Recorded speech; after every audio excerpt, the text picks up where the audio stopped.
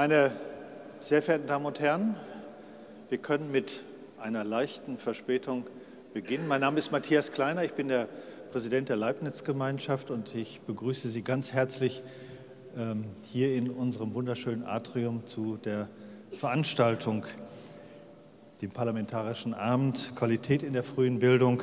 Welche Rolle haben die politischen Akteure?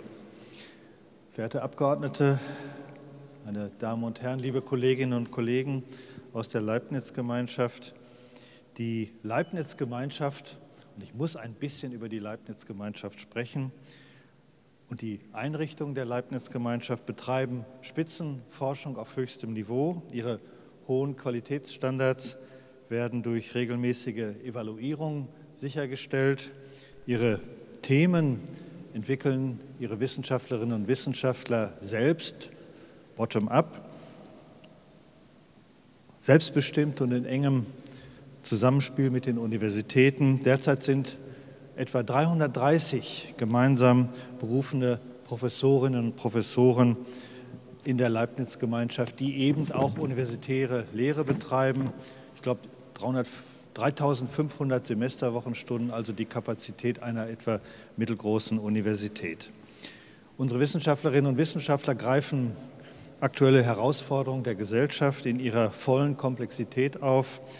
Und dazu sind sie in der Lage, weil in der Leibniz-Gemeinschaft Grundlagenforschung, erkenntnisorientierte Forschung mit Anwendungsinspiration, mit Anwendungsperspektive beheimatet ist und inhaltlich die Breite aller Disziplinen vertreten sind, sodass Themen interdisziplinär, transdisziplinär bearbeitet werden können. Und Beispiel dafür sind die zwölf Leibniz-Forschungsverbünde, die zu aktuellen Fragen wie Biodiversität, die Energiewende, das gesunde Altern oder die Nanosicherheit, um hier nur einige Beispiele zu nennen, arbeiten.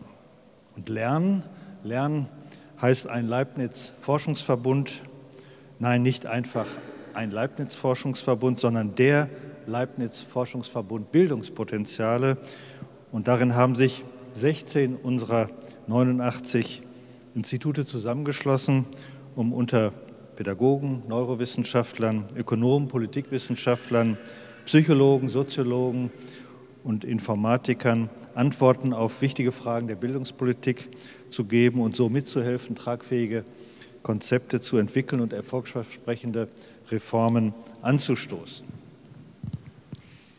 Dem Verbund Lernen ist es in den vergangenen Jahren gelungen, die Leibniz Bildungsexpertise auszubauen und damit auch unser Profil als Leibniz-Gemeinschaft weiter zu schärfen.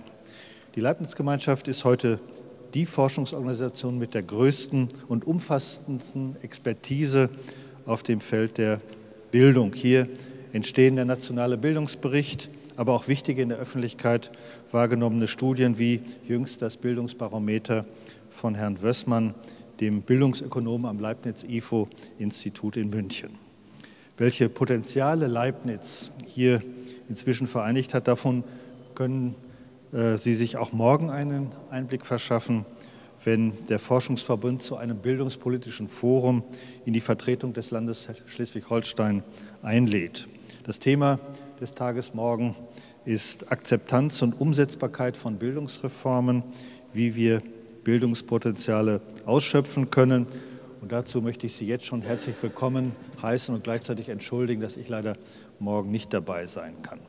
Heute Abend, heute Abend haben sich bereits einige unserer hervorragenden Bildungsforscherinnen und Forscher auf dem Podium versammelt. Markus Hasselhorn, Direktor des Deutschen Instituts für internationale pädagogische Forschung, das Leibniz-DIPF in Frankfurt am Main. Hans-Günter Rosbach, Direktor des Leibniz-Instituts für Bildungsverläufe in Bamberg und Katharina Spieß, Leiterin der Abteilung Bildung und Familie des Deutschen Wirtschaftsinstituts hier in Berlin. Alle drei sind absolute Experten in Fragen der frühen Bildung und wie wir wissen, ähm, das ist ausschlaggebend für eine gute Bildung der Kinder und Jugendlichen, die dann ja später doch ähm, auf ein Fortkommen hoffen. Unsere Leibniz-Direktorin und die beiden Leibniz-Direktoren diskutieren mit Franziska Brandner, der Kinder- und Familienpolitischen Sprecherin der Bundestagsfraktion Bündnis 90 Die Grünen und Markus Weinberg, dem familienpolitischen Sprecher der CDU-CSU-Bundestagsfraktion. Herzlich willkommen Ihnen beiden. Und herzlich willkommen auch Frau Bettina Bundschuß, der Abteilungsleiterin Kinder und Jugend im Bundesministerium für Familie, Senioren, Frauen und Jugend. Also allen ein herzliches Willkommen und eine interessante und vergnügliche, anregende Diskussion unter der Leitung unserer Kommunikationschefin Christiane Burtscheid.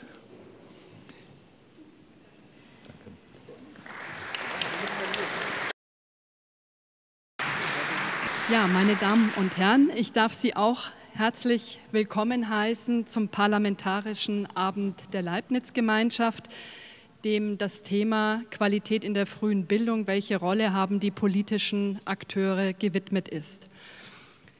Ich würde vorschlagen, wir gehen gleich in medias res, diskutieren eine Stunde ohne Statement, damit es gleich auch zur Sache geht. Und dann haben Sie die Möglichkeit, auch noch mal in einer ja, guten halben Stunde hier auch Fragen zu stellen zu dem Thema. Schön ist auch, ich begrüße auch nochmal alle Kinder hier, die wir haben, dass wir auch Anschauungsmaterial ganz konkret haben, Beteiligung vielleicht auch. Gut. Ja, das Thema könnte ja nicht aktueller sein, was auch was sonst bei Leibniz. Wir haben ja eine spannende Woche hinter uns, auch wenn sie noch nicht ganz zu Ende ist. Am Montag standen die Zeichen ja noch auf Kita-Streik. Heute in den Nachrichten konnte man verfolgen, es ist offenbar mal wieder eine Einigung im Tarifstreit erfolgt.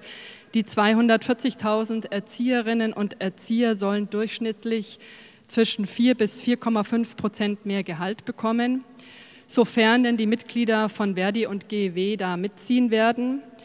Sie haben ja schon einmal eine Schlichtung verhindert und Verdi-Chef Frank Psirske hat Anfang der Woche ja angekündigt, dass wieder weitere Eskalationen bevorstehen. Also das alles ist eigentlich noch nicht vom Tisch. Die Eltern scheinen dafür ein großes Verständnis zu haben. Jeder kann sich, glaube ich, noch gut erinnern hier im Sommer, äh, dass es nicht so einfach war, seine Kinder unterzubringen. Trotzdem sind sie sehr solidarisch. Herr Kleiner hat es soeben schon angedeutet. In unserem aktuellen Bildungsbarometer des Leibniz-IFO-Instituts ist herausgekommen, 79 Prozent der gut 4000 Befragten sagen, dass es richtig ist, wenn die Erzieherinnen und Erzieher mehr Geld bekommen. Bereits vor dem Kita-Streik hat Bundesfamilienministerin Manuela Schwesig erklärt, wir brauchen eine Debatte in Deutschland, wie viel uns die Arbeit mit Menschen und die frühe Bildung unserer Kinder wert ist. Ja, wie viel ist sie uns wert? Ich sage jetzt mal ein paar Hausnummern. Die Schlichtung wird ungefähr 300 Millionen Euro kosten, wenn es denn so kommt. Die Betreuung von Flüchtlingskindern, ungefähr 100.000 Kinder, die demnächst auch neue Plätze suchen bei, in Kinderkrippen wie in Kindergärten, werden 500 Millionen Euro kosten. Wer zahlt? Die Kommunen, die Länder, der Bund, Vielleicht ist ja das Betreuungsgeld eine neue Quelle. Die Milliarde ist ja seit Juli mit dem Stopp durch das Bundesverfassungsgericht frei geworden.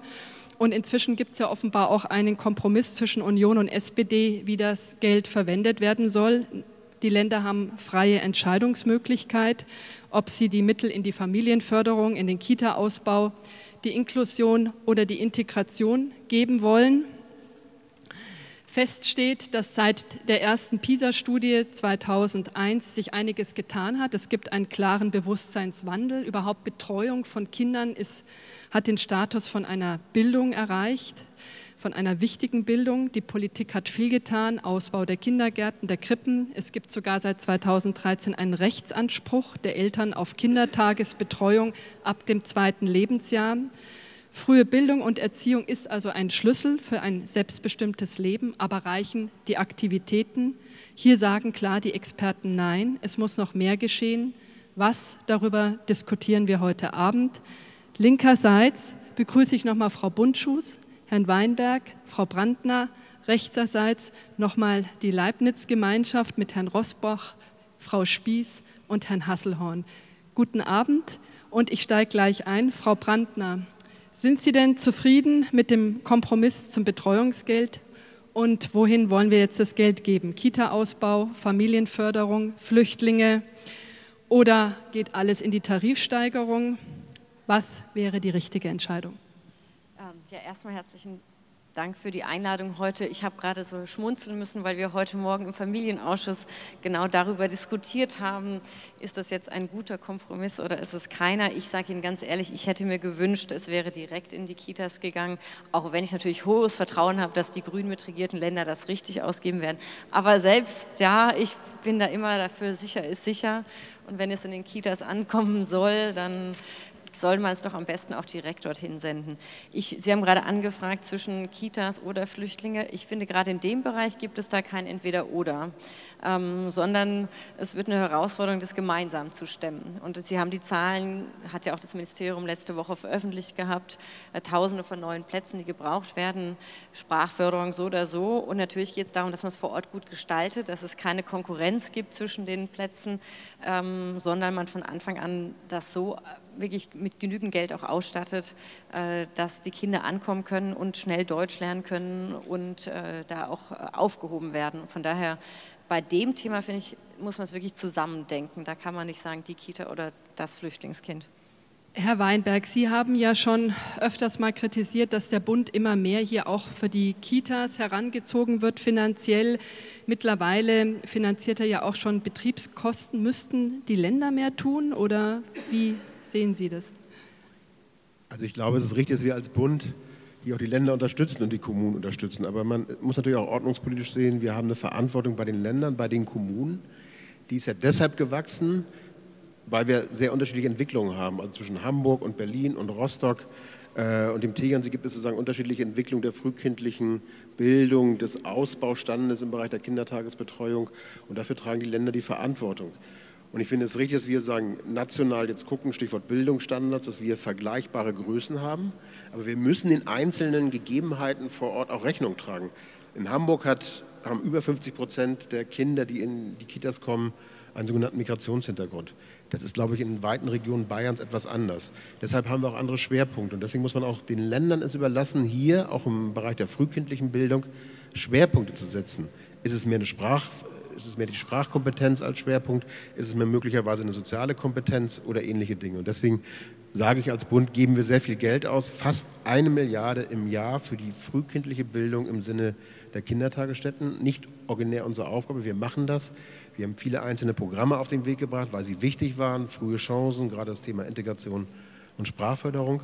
Aber es ist auch so, dass wir immer wieder daran erinnern müssen, dass die Länder hier die Verantwortung äh, haben und letzter Satz mit Blick auf die Frage Entwicklung bei den Flüchtlingen.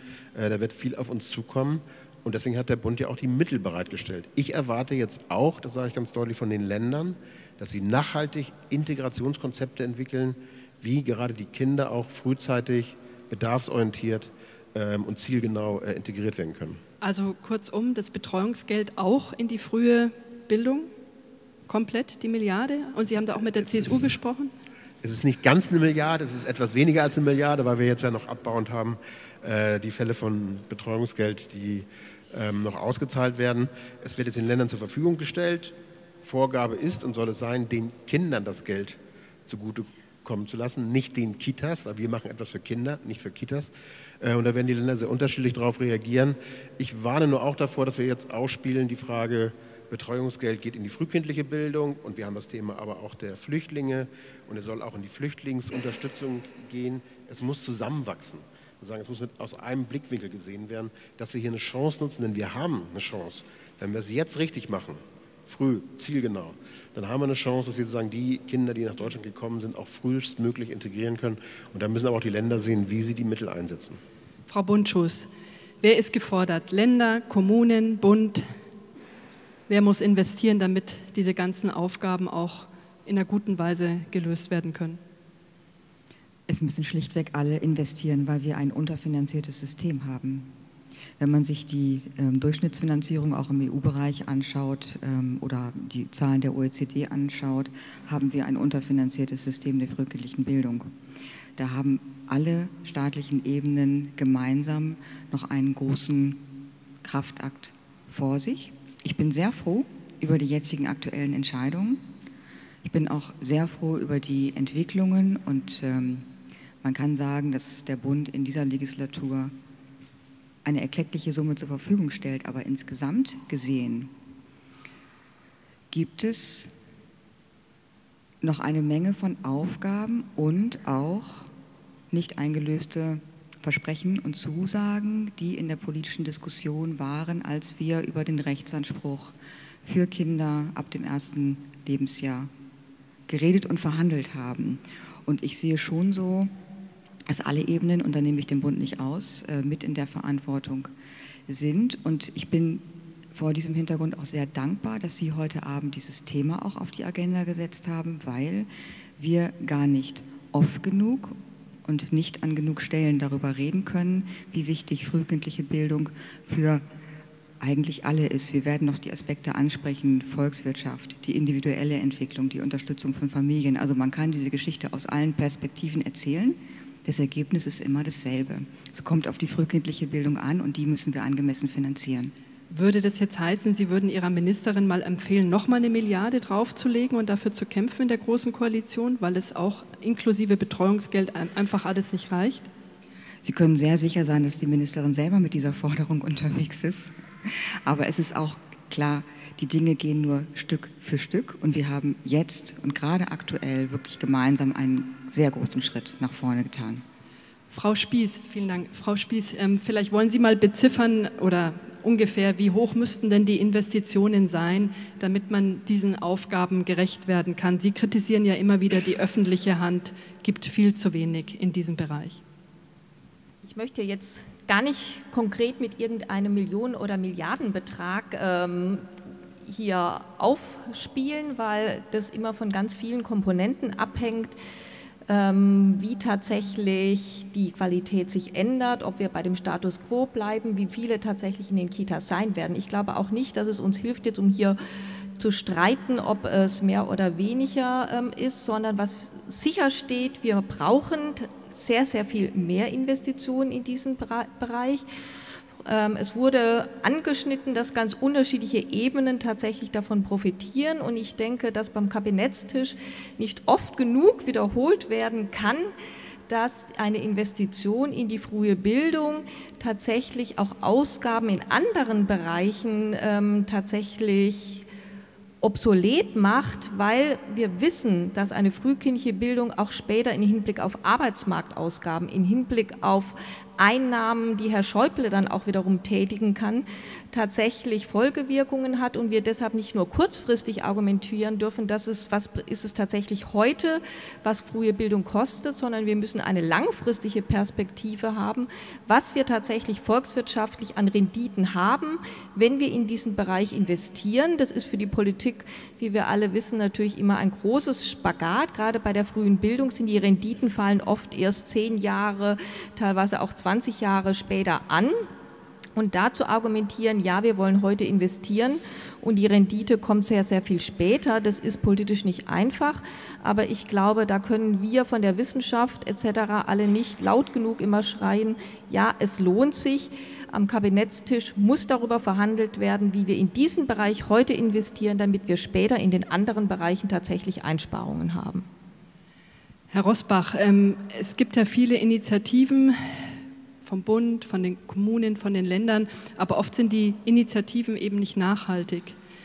Wäre da die Forderung nicht, dass man vielleicht mal ein komplettes Finanzierungsprogramm auflegt und sagt, so, das bekommen jetzt die Länder oder die Kommunen oder gar die Einrichtungen und da könnt ihr mal selber jetzt sehen, was, wie, wie setzt ihr das um? Wie setzt ihr die Mittel ein am besten für euch?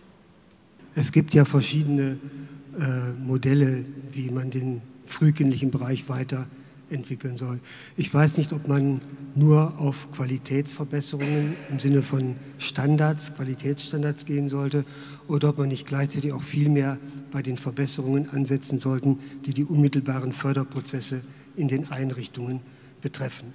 Äh, bei den Strukturmerkmalen, wir wissen aus verschiedenen Untersuchungen, dass sie relativ, sie haben einen Effekt, aber dass der Effekt nicht besonders stark ist auf die Gestaltung der pädagogischen Prozesse und auch nicht besonders stark auf die Entwicklungen hin bei den Kindern. Interessanterweise auf die Mathematikentwicklung finden wir, dass eine große, größere Gruppe besser ist. Bei einer äh, besseren Erzieher-Kind Relation.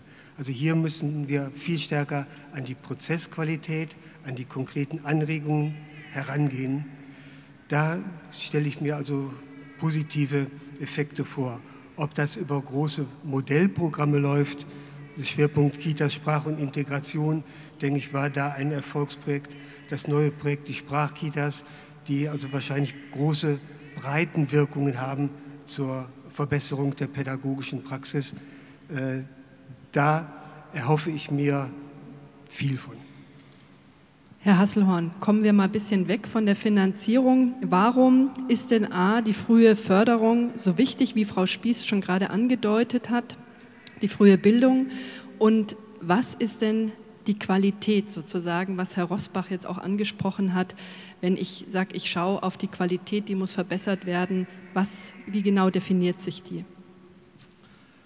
Ja, ich bin da ganz dankbar, dass ich nicht über äh, Geld sprechen soll und auch nicht darüber, was äh, an den Verhandlungstischen der Politik darüber gesprochen wird, weil ich als, äh, als Bildungsforscher, der von der Grundausbildung her Entwicklungspsychologe ist, natürlich seine, meine eigene Expertise da wahrnehme, wo sich Entwicklungsprozesse von Kindern so gestalten, dass sie gemessen an dem, was sie äh, ich sage das jetzt mal so lob, von Mutter Natur mitbekommen haben, möglichst diese Potenziale auch ausschöpfen können zu einem möglichst günstigen Bildungsverlauf. Und wenn ich das angucke, dann, wird, dann ist äh, die Frage der Qualität äh, eine, die eben nicht für jedes Kind die gleiche Art von Förderung und Anregung braucht.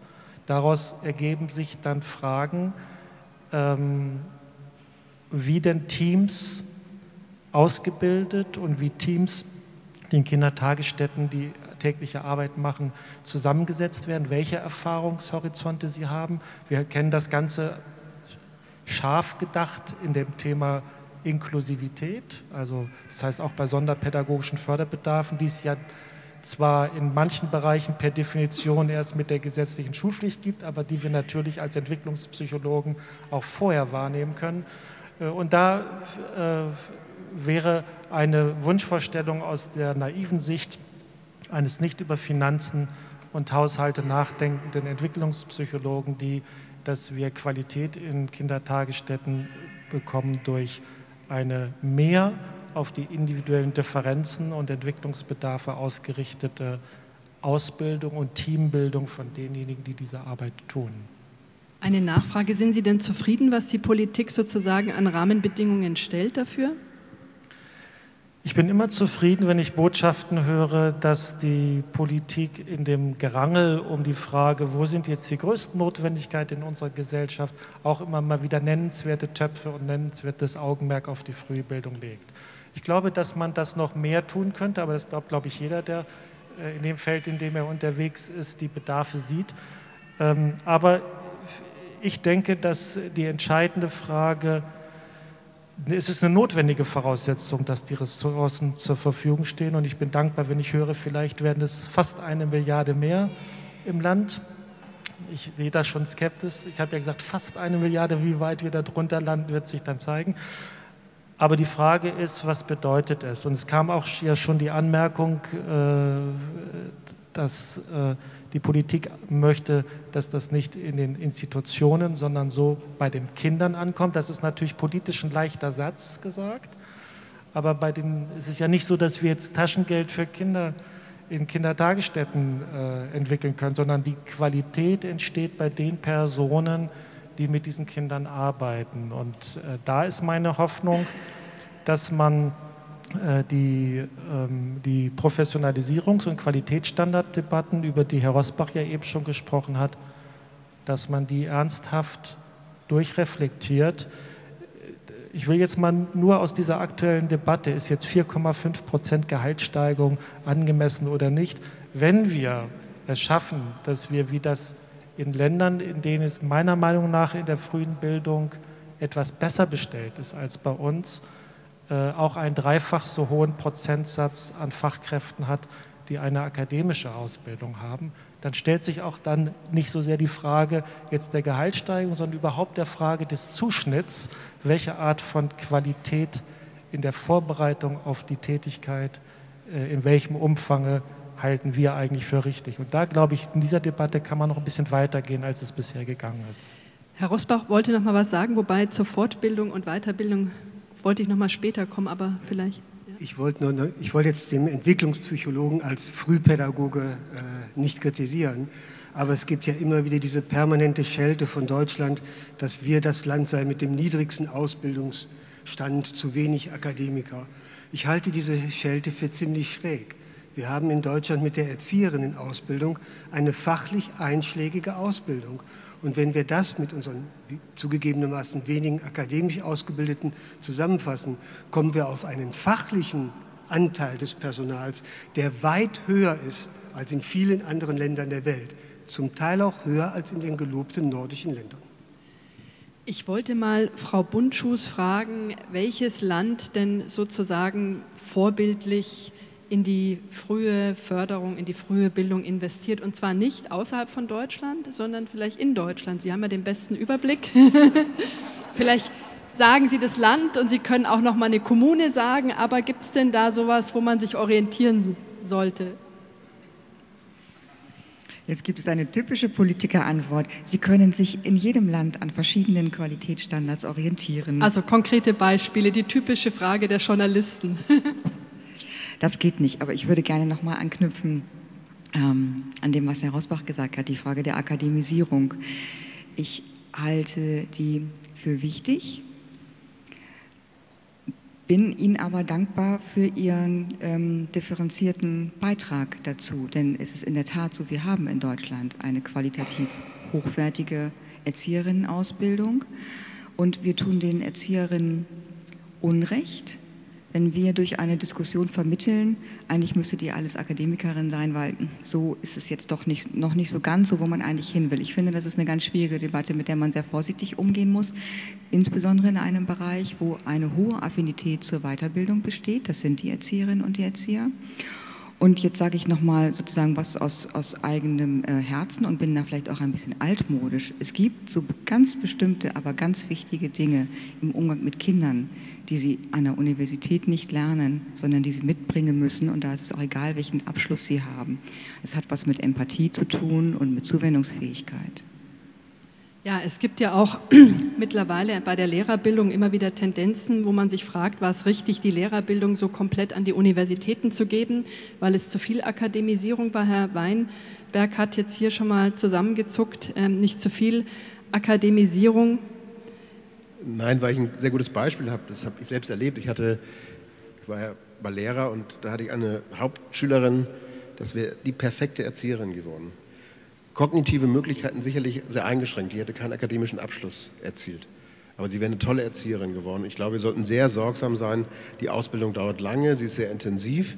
Ähm, ich glaube, dass man sozusagen das als Basispaket oder als Basisausbildung auch so belassen sollte.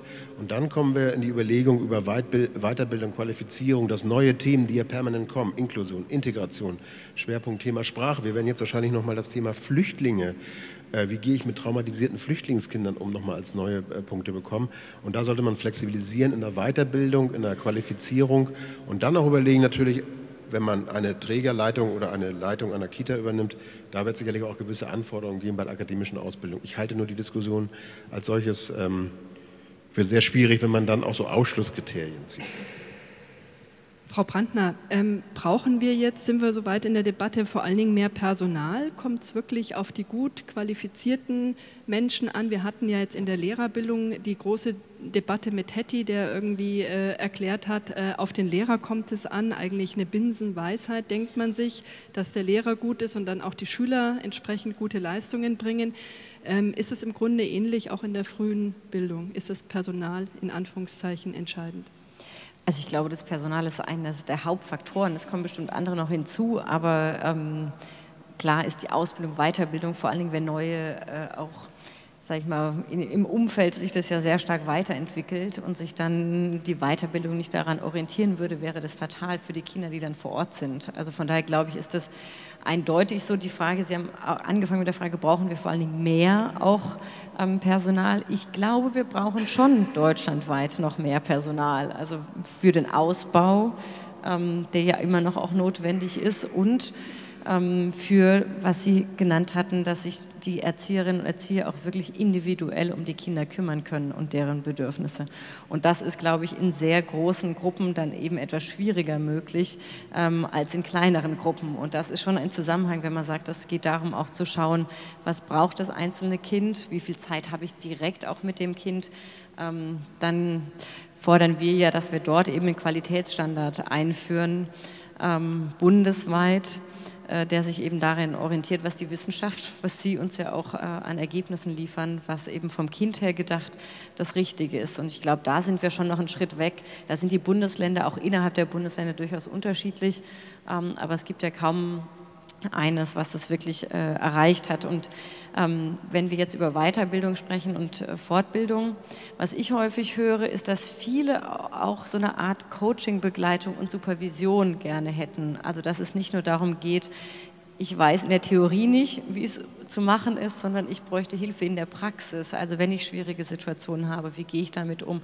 Und dass die Fachberatungen nicht immer da die einzigen Ansprechpartnerin sein können. Und ich glaube, das ist noch ein Thema, gerade wenn die Situationen vor Ort schwieriger werden. Wie schaffen wir es da, neben der Weiterbildung noch so eine kontinuierliche Praxisbegleitung zu haben, Coaching, Supervision. Ich glaube, das ist aber jetzt nicht was, was man bundeseinheitlich regeln muss, sage ich mal. Ja, da würden wir auch sagen, muss nicht der Bund regeln, aber auf jeden Fall vor Ort wichtig. Herr Weinberg? Ich wollte nur ergänzen, weil ich glaube, sagen, ein Geheimnis wäre, dass wir die verschiedenen Professionen, die im Bildungsbereich aktiv sind, Sonderpädagogen, Sozialpädagogen, Lehrer, also Grundschullehrerinnen und Lehrer, Erzieherinnen und Erzieher, dass wir sozusagen diese, diese als Teams ausbilden. Ähm, das wäre auch übrigens ist ja die Fragestellung, auch ob wir nicht äh, intensiver darüber nachdenken, halt diese Trennung Kindertagesstätte, Grundschule langsam auflösen und dann diese Profession mit den verschiedenen Ausbildungsschwerpunkten zusammenbringen, dass ich sozusagen im Team einen Sonderpädagogen habe, eine Grundschullehrerin habe und dann auch dieses System, ich glaube, der Entwicklungspsychologe würde dem zustimmen, äh, flexibler gestalten und nicht dieses Denken, bis drei zu Hause, bis sechs in der Kita, bis zehn in der Grundschule, bis 16 in der SIG 1 und dann vielleicht in der Oberstufe, sondern dieses aufzulösen. Bildung funktioniert jahresübergreifend und da sollten wir, glaube ich, uns mehr, mehr trauen in Deutschland, Bildung anders zu definieren. Ich, darf ich da finde ich das ein ganz, ganz wichtiges äh, Statement sozusagen, diese Professionalisierung tatsächlich nicht zu sagen, ab der Grundschule ist man der Lehrer und äh, davor ist man nichts wenn Sie so denken und da tatsächlich ins Ausland gehen, gucken Sie sich die Franzosen oder die Skandinavier an, die ja tatsächlich alle gemeinsam anfangen und dann ihre Spezialitäten bilden, damit sie tatsächlich auch Teams haben, dann spricht natürlich einiges dafür, einen signifikant größeren Anteil tatsächlich an den Hochschulen auszubilden, wo die schon in ihrer Ausbildung auch als Team tatsächlich mal gemeinsam mit agieren, was überhaupt nicht heißt, dass diejenigen, die nicht an den Hochschulen waren, die schlechteren sind. Aber aus dieser Perspektive heraus, denke ich, kann Akademisierung auch wiederum sehr viel bringen, weil wir ein professionelles Verständnis davon haben, was tatsächlich Erzieher, Lehrer, alle diejenigen, die in den Bildungsangeboten gemeinsam arbeiten, auch betrifft. Ich habe schon gesehen, äh, Herr Rosbach hat sich auch gemeldet. Ich habe jetzt aber trotzdem eine kurze Frage und die geht eigentlich an Herrn Hasselhorn und an Herrn Rosbach was eigentlich macht eine gute Erzieherin, einen guten Erzieher aus? Er will mir den Vortritt lassen, weil äh, er derjenige ist, der sich damit beschäftigt hat. Ähm, und da kann er jetzt dann wieder zurechtrücken, ähm, äh, was ich hier Typisch Falsches von mir gebe. Äh, erlauben Sie mir, bevor ich dazu was sage, noch mal eine Bemerkung zu dem, was ja funktioniert hat. Also wir haben jetzt darüber gesprochen, ob wir einen anderen Zuschnitt von Professionalisierung brauchen. Um das nur noch mal deutlich zu machen, mir ging es nicht darum zu sagen, die Erzieherin von morgen muss an der Universität ausgebildet sein. Es geht mir darum, dass äh, die zunehmenden Bedarfe, die, die wir in der Schule sonderpädagogischen Förderbedarfe nennen und die mittlerweile nach meiner Einschätzung, wenn ich über die für die späteren Bildungserfolge im Kindergartenalter zu bildenden Schulbereitschaften darstellt. Das ist ein breites Feld von, von kognitiven, motivationalen und wir sagen als Psychologen dann volitionalen, also auch selbstdisziplinsbezogenen Merkmalen. Wenn ich die sehe, dann habe ich trotz der großen Steigerungsrate, ich glaube, wir haben mittlerweile über zwei Prozent der Fachkräfte in den Kindertagesstätten, die eine akademische Ausbildung haben.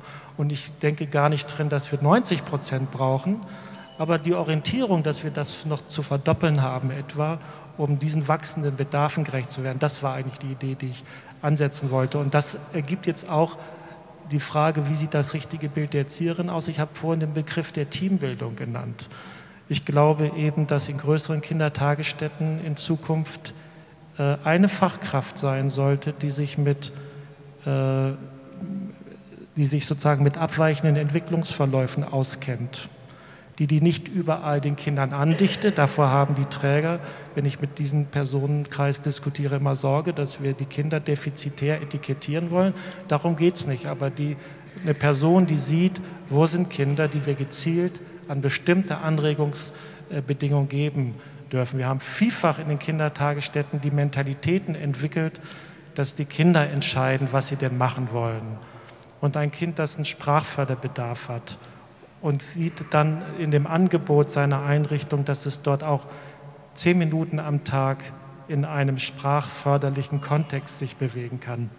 Das merkt spätestens beim dritten Mal, dass die anderen das besser können und entscheidet sich demnächst in den Toberaum zu gehen, statt in diese Runde.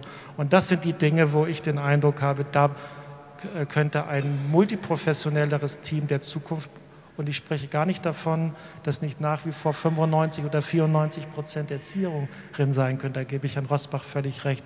Aber das wäre mein Wunsch, diese Form von Professionalität in die Teams zu bekommen. Und dann gibt es unterschiedliche Funktionen im Team, wofür die in der ganzen Runde der Einrichtung eigentlich zuständig sind. Darf ich nochmal nachfragen, wer wäre sozusagen in dem Team dann? Also wir hätten eine Erzieherin oder einen Erzieher, also wer würde sozusagen zu so einem professionellen Team gehören? Wir haben, glaube ich, bisher, wir haben ja schon gute zwei Prozent äh, akademisch ausgebildet, das sind in der Regel Sozialpädagogen. Und die Professionalität, die mir fehlt, ist das, dass ich als Psychologe klinischen Entwicklungspsychologe nennen würde. Wir haben aber mittlerweile, glaube ich, 60 Studiengänge in Deutschland, äh, die akademische Ausbildung zur frühen Bildung machen. Und in vielen dieser Studiengänge können solche Expertisen erworben werden. Also es gibt keine keine disziplinäre, traditionelle Bezeichnung für dieses Feld, weil es ein sehr, sehr junges akademisches Ausbildungsfeld ist. Herr Rosbach, teilen Sie jetzt die Meinung vom Herrn Hasselhorn? Ja, also ich, äh, ich denke, multifunktionale Teams sind besonders wichtig. Äh, ist auch da eigentlich ja schon alles gesagt worden. Ich möchte nur auf die Leitungskräfte zukommen. Ich denke, gerade bei den Leitungskräften scheint mir eine Akademisierung sinnvoll zu sein nicht im Sinne des Management, sondern im Sinne der pädagogischen Führung, im Sinne der Teamentwicklungsmaßnahmen. Und da sind die besonderen Möglichkeiten. Allerdings, der Aktionsrat Bildung hat vor einigen Jahren einmal ausgerechnet, wenn man bis zum Jahre 2020 in jeder Kita in Deutschland eine Leitungsperson akademisch ausgebildet haben wollte, äh, ja, man hätte 30 neue Studienplätze gebraucht, etwas etwa 90 neue Professoren für die Frühpädagogik. Auch eine schöne Perspektive. Was ist die gute Erzieherin? Ähm, ich denke, wir haben jahrzehntelang eigentlich eine gute Erziehung definiert über die Einfühlsamkeit, über, das, äh, über die Empathie, über das Eingehen auf das Kind. Ist alles wichtig. Aber unter Bildungsgesichtspunkten braucht eine gute Erzieherin auch Wissen. Sie braucht ein gewisses Ausmaß an Fachwissen in dem Entwicklungsbereich. Wenn Sie Mathematik fördern wollen, müssen Sie auch ein bisschen von Mathematik wissen. Sie müssen etwas wissen über die Art und Weise, wie man ein Kind unterstützen kann, wie man steht, äh, feststellt, wo steht ein Kind und dann die entsprechenden Maßnahmen einleiten kann.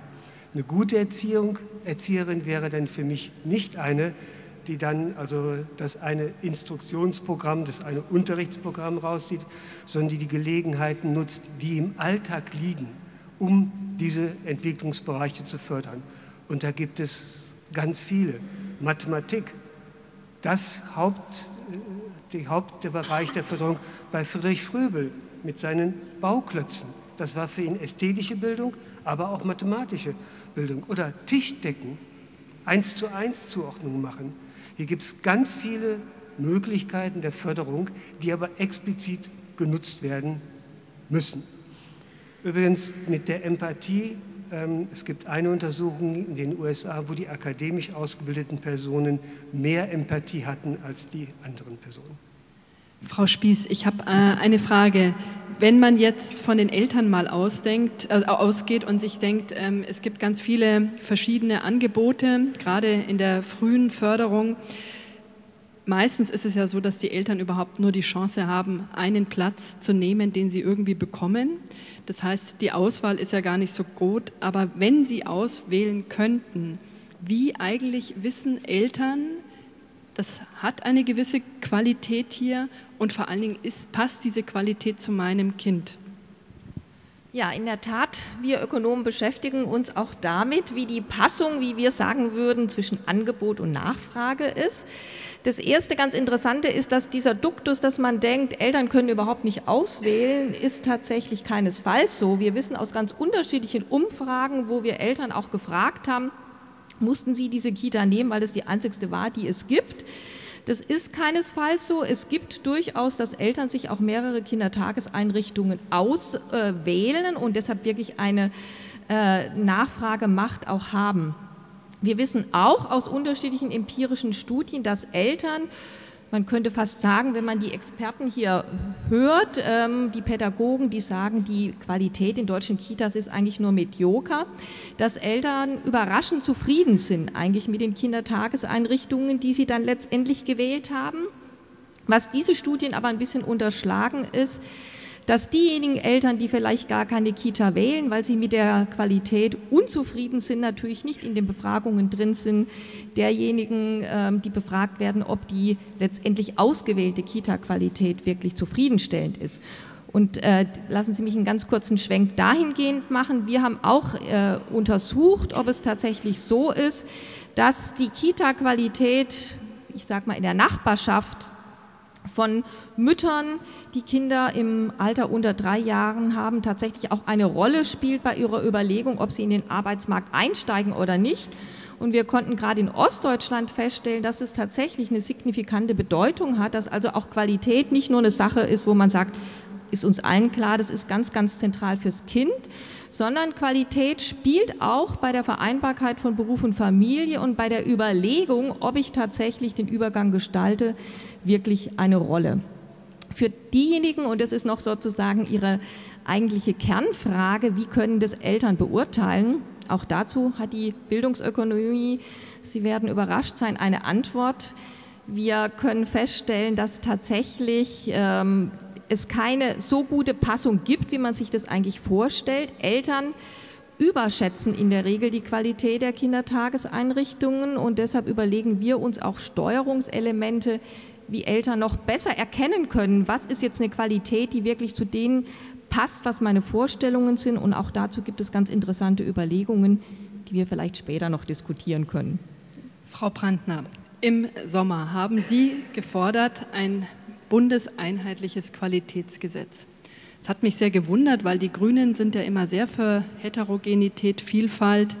Wieso brauchen wir in Deutschland einheitliche Qualitätsstandards, nein, sogar ein Gesetz. Ähm, ja, das ist, die Grünen mit Föderalismus sind wir sonst eigentlich immer auch sehr dafür. Und uns, wir wollen auch ähm, natürlich nicht jetzt in jeder Kita sagen, das Essen muss äh, jetzt jeden Tag ein Apfel sein und ähm, die Wände müssen gelb sein. Also in die Richtung geht es nicht, sondern es ist sehr Grün begrenzt, sehr begrenzt auf die Frage der Fachkraft-Kind-Relation. Ähm, und das ist eigentlich der Hauptteil, den wir in den Vordergrund stellen, weil wir sagen, dass davon doch eben sehr viel abhängt. Natürlich danach auch von der Ausbildung, aber Sie können ja schon sozusagen ein, bunt, ein größeres, bunteres Team erfordert überhaupt, dass schon mehrere Stellen dafür zur Verfügung stehen. Ja? Das heißt, es hängt immer auch damit zusammen, wie viele Stellen sind überhaupt dann zur Verfügung, um die dann auch diverser besetzen zu können.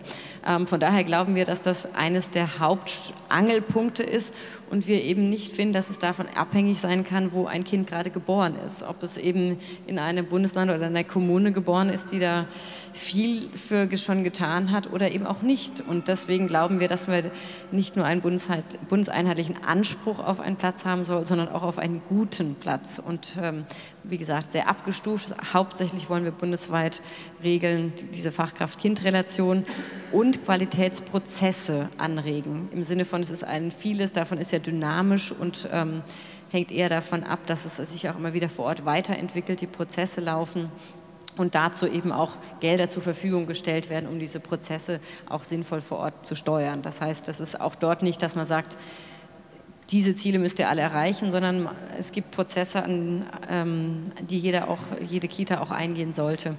Ähm, und alles andere würden wir auch weiterhin landesweit regeln. Und ich verhehle Ihnen nicht, dass es für uns auch den Vorteil hat, dieses Gesetzes sagen uns zumindest die Juristen, dass man darüber den Bund auch langfristig in die finanzielle Verpflichtung nehmen kann. Weil wir schon der Überzeugung sind, dass die Kommunen und die Länder das langfristig nicht alleine stemmen können, sondern der Bund wirklich da in den nächsten Jahren, Jahrzehnten würde ich sagen, nicht rauskommt und dass man da eine Perspektive braucht und wie man das mit dem Kooperationsverbot eben juristisch hinbekommt, ist nicht ganz einfach und was wir eben äh, in vielen Expertengesprächen dann am Ende also zu dem Schluss gekommen sind, es geht über eine Verankerung im SGB VIII ähm, und dadurch eine Finanzierungsverpflichtung auch mit hinzubekommen. Von daher hängt das für uns zusammen. Bundesverpflichtung und wo ist wirklich das, was, muss man sagen, das ist das Minimum, was irgendwie stimmen muss, wo jedes Kind einen Anspruch haben muss. Das soll jetzt nicht dazu führen, dass die Länder, die schon vorgearbeitet haben, bestraft werden und jene, die noch einen schlechten Schlüssel haben, ähm, belohnt werden. Von daher ist die Ausgestaltung dann der finanziellen Ströme eine Bund-Länder-Sache. Aber soweit ähm, ist das unser Ansatz, das gerne zu verankern. Herr Weinberg, die Frau Lips hat mir letzte Woche gesagt, die Vorsitzende des Ausschusses für Bildung und Forschung. Ähm, die CDU ist da sehr, sehr skeptisch mit einem einheitlichen Gesetz, weil man auch Angst hat, dass dann eben gerade die Heterogenität oder Vielfalt der verschiedenen Angebote über einen Kamm geschoren wird und dann nicht mehr so in dieser Weise blühen kann. Wie ist Ihre Position auch so? Also wir haben ja Gott sei Dank jetzt in allen Bundesländern Bildungsempfehlungen oder Bildungspläne. Die sind sehr unterschiedlich. Also Finakis hat es mal verglichen mit Maurita Mauritien oder Mauretanien mit Großbritannien. Jetzt kann man ja sagen, das kann ja nicht sein, dass in Deutschland wir so differenzierte Bildungspläne haben. Aber es gibt ja auch einen Grund dafür. Und der Grund ist, dass sozusagen in den Ländern nach der kulturhistorischen Entwicklung der jeweiligen Länder, nach Schwerpunkten, ähm, auch nach gewissen anderen Vorgaben, diese Bildungsempfehlungen oder Bildungspläne implementiert worden. Und jetzt glaube ich, muss man zwei Dinge tun. Das erste ist, dass man sagt, also wir haben spezielle Vorgaben, die sind in Hamburg anders als in Bayern erklärbar. Ich habe angesprochen das Thema Integration und ähnliche. Dass ich mich verständige bundesweit auf einheitliche Grundstandards oder Basisstandards. Das kann ich aber durchaus freiwillig machen in Absprache der einzelnen Länder. Übrigens auch, es gab ja ein erstes Gespräch auch bei der Ministerin, wo der Bund eine moderierende Rolle spielen kann, dass er sagen kann, ihr müsst irgendwo schauen, dass ihr gewisse Standards auch reguliert und sagt, das ist einheitlich bei allen. Und dann kommt obendrauf, in Anführungszeichen, das sehr regional unterschiedlich ausgeprägte. Zweiter Punkt, und das ist dann auch nicht unerheblich.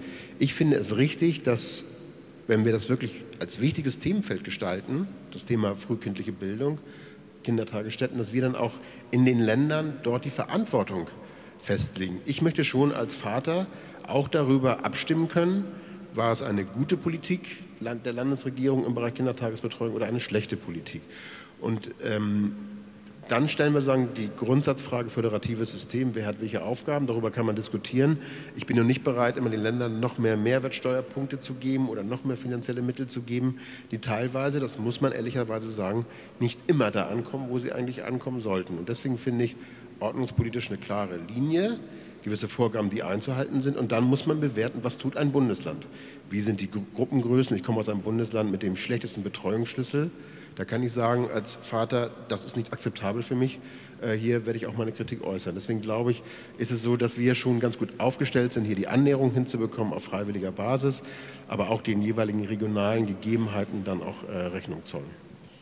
Frau Bundschuss, wir, Herr Weinberg hat es gerade angesprochen, es gibt ja die Bildungspläne der Länder, die schon seit geraumer Zeit ähm, verabschiedet sind. Ähm, ja, es gibt auch unter anderem ein Zehn-Punkte-Programm, das ähm, die Frau Schröder 2013 ja, glaube ich, nochmal so formuliert hat, äh, für ein bedarfsgerechtes Angebot zur Kindertagesbetreuung. Jetzt die Diskussion Gesetz. Wie ist Ihre Haltung? Wie es in einer guten Koalition so ist, ist man sich im Ziel einig und darf jetzt nicht Aber sagen. manchmal im Weg nicht. Das ist ja kein Geheimnis. Ähm, die SPD ist angetreten äh, mit dem Ziel, ein Kita-Qualitätsgesetz zu schaffen. Es bedarf aber einiger Hürden, die, es noch, die man noch nehmen muss. Ähm, Bund und Länder haben sich gemeinsam auf den Weg gemacht, weil klar ist, genauso wenig wie es hinnehmbar ist, dass es so viele unterschiedlich gute Schulen gibt, ist es hinnehmbar, dass es so viele unterschiedlich gute oder schlechte Kitas gibt. Und die Untersuchungen sagen uns leider, dass es so ist. Ähm, das ist nicht hinnehmbar und deswegen haben wir uns gemeinsam auf den Weg gemacht und verständigt, dass wir diese Legislatur dazu nutzen, um uns über diese Merkmale zu verständigen, die Frau Brandner völlig zu Recht ausgeführt hat. Was sind Strukturmerkmale einer guten Kita-Qualität? Es sind schon einige genannt worden. Es geht nicht darum, einen Bundesbildungsplan über die frühkindliche Bildung wie ein Netz zu werfen. Das ist nicht der Ansatz, sondern es geht um Strukturmerkmale, es geht um Verbindlichkeit, es geht um bundesweit gleiche Chancen für das Aufwachsen von Kindern. Die Ministerpräsidentinnen und Ministerpräsidenten der Länder haben diesen Qualitätsdialog initiiert und lassen sich Ende 2016 darüber berichten. Und natürlich werden wir hart ringen, und das tun wir auch jetzt schon, auch in enger Auseinandersetzung mit der Wissenschaft, die dort mit Expertisen zuarbeitet. Was sind Marken, die wir setzen können oder auch Zielbereiche, wo wir sagen, in, wenn Kitas so aufgestellt sind, sind das Merkmale guter Strukturqualität bei Beibehaltung aller regionaler Unterschiedlichkeit. Das IFO-Barometer hat bei seiner le letzten Erhebung auch festgestellt, 86 Prozent der Befragten sind für nationale Qualitätsstandards. Ich frage jetzt auch noch mal hier an die wissenschaftliche Expertise. Sind auch Sie der Meinung, dass wir solche nationalen Qualitätsstandards haben sollten? Und was sollten sie enthalten? Und sollten sie Mindeststandards sein oder sollten sie hohe Standards sein? Herr Rosbach hat sich gemeldet. Ja, vielleicht, weil wir da auch ein bisschen unterschiedlicher Ansicht sind und ein bisschen mehr Diskussion noch da reinkommt. Äh, ich bin sehr skeptisch über die Erfolge von Bundesstandards. Ich finde auch die, ich will ja gar nicht widersprechen, aber Erzieher-Kind-Relation an der Stelle ist ein Merkmal, wo wir aus vielen Untersuchungen wissen, dass sie kaum besonders viel bringt. Wenn man Standards auf dieser Ebene einführt, fände ich es also viel spannender, das zeigt sich in anderen so Vorbereitungszeiten zu geben. Also dass das eben nicht nur Arbeit am Kind ist, sondern unter Bildungsgesichtspunkten, dass das Personal auch reflektieren kann außerhalb der unmittelbaren Arbeit im Kind. Davon würde ich viel mehr erwarten. Ich, bundeseinheitliche Regelungen, mein Herz würde eher an der Richtung schlagen, dass wir mehr für Qualitätsentwicklungsmaßnahmen tun. Und da gibt es viele, die unmittelbar in der Praxis ansetzen.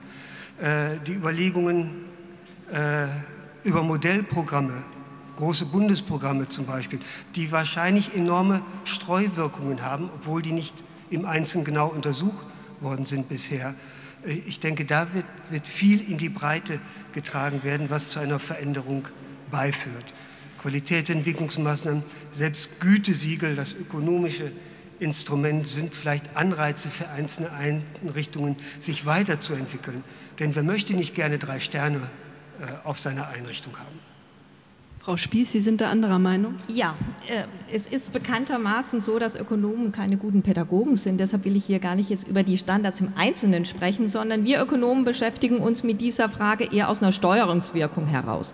Und wenn wir beobachten, wie tatsächlich heterogen die Lage in der Qualität ist. Wir haben zwar Bildungspläne, aber wir alle wissen, in manchen Ländern sind die nicht verbindlich, dann kann es die Kommune selbst entscheiden, manche Kommunen sagen dann, die Einrichtung kann es im Zweifel noch selbst entscheiden.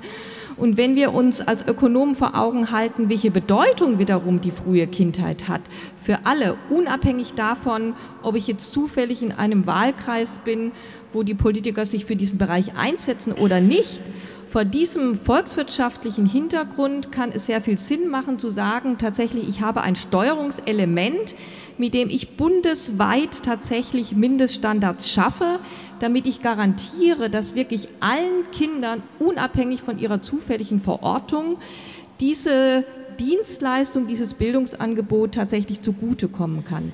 Es ist ökonomisch in der Tat überhaupt nicht sinnvoll, da ähm, alles im Detail zu regeln. Es macht aber sehr viel Sinn, da eine Verbindlichkeit reinzubringen. Und ich finde auch den Aspekt der Finanzierung dabei einen ganz, ganz wichtigen. Wir haben jetzt schon viele Jahre über diese Standards diskutiert. Freiwillig kam leider nichts zustande. Also es ist ja nicht so, dass wir diese Diskussion neu haben, sondern viele Jahre wurde über nationale Standards diskutiert. Die Länder haben sich zusammengesetzt. Aber ich würde jetzt mal als äh, Wählerin sagen, schade, sie haben sich leider nicht geeinigt. Deshalb müssten wir vielleicht doch vom Bund was tun. Und der Charme wäre, dass wir ein nachhaltiges Instrument haben. Der Bund hat jetzt unheimlich viel in den letzten Jahren investiert. Er hat Programme aufgesetzt. Alles ähm, ganz wunderbar. Die, wir hatten zum Glück Familienminister, die sich dafür eingesetzt haben. Was ist aber, wenn wir in zehn Jahren keine nachhaltige Finanzierung mehr haben, weil auf einmal der Wind anders äh, bläst und wir keine Modellprojekte mehr zusammenkriegen, dann denke ich, ist es für den Bürger richtig zu sagen, wir können uns darauf verlassen. Wir haben ein Bundesgesetz, da wird es festgeschrieben und da ist es nicht mehr ähm, eine Sache der politischen Diskussion, ob wir jetzt tatsächlich uns einigen oder nicht.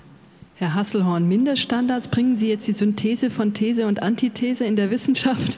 Ja, ich habe mich, also wir haben, wir führen ja jetzt zwei Diskussionen parallel. Das haben Sie so ein bisschen durch Ihre Frage ausgelöst, weil wir haben ja auf dieser Seite äh, des Podiums gehört, dass, die, dass eigentlich die Intention äh, nur einen komischen Begriff bekommen hat. Ja? Also Qualitätsgesetz, da denken alle an pädagogische, in Analogie zu Bildungsstandards des Schulwesens, zu pädagogischen Standards. Aber hier habe ich ja nun gehört, eigentlich geht es ja eher in die Analogie von einem Mindestlohngesetz, dass ein Mindestressourcengesetz äh, erstellt werden soll. Das ist was völlig anderes. Und ich glaube, die, das, die, ähm, die Unterschiedlichkeit in der Argumentation vor allen Dingen von Frau Spieß und Herrn Rosbach besteht darin, dass Herr Rosbach äh, an die äh, Qualitätsstandards in Analogie zu den inhaltlichen pädagogischen Standards denkt. Und da wäre ich tatsächlich heute Abend das erste Mal auf der Seite von Herrn Rosbach.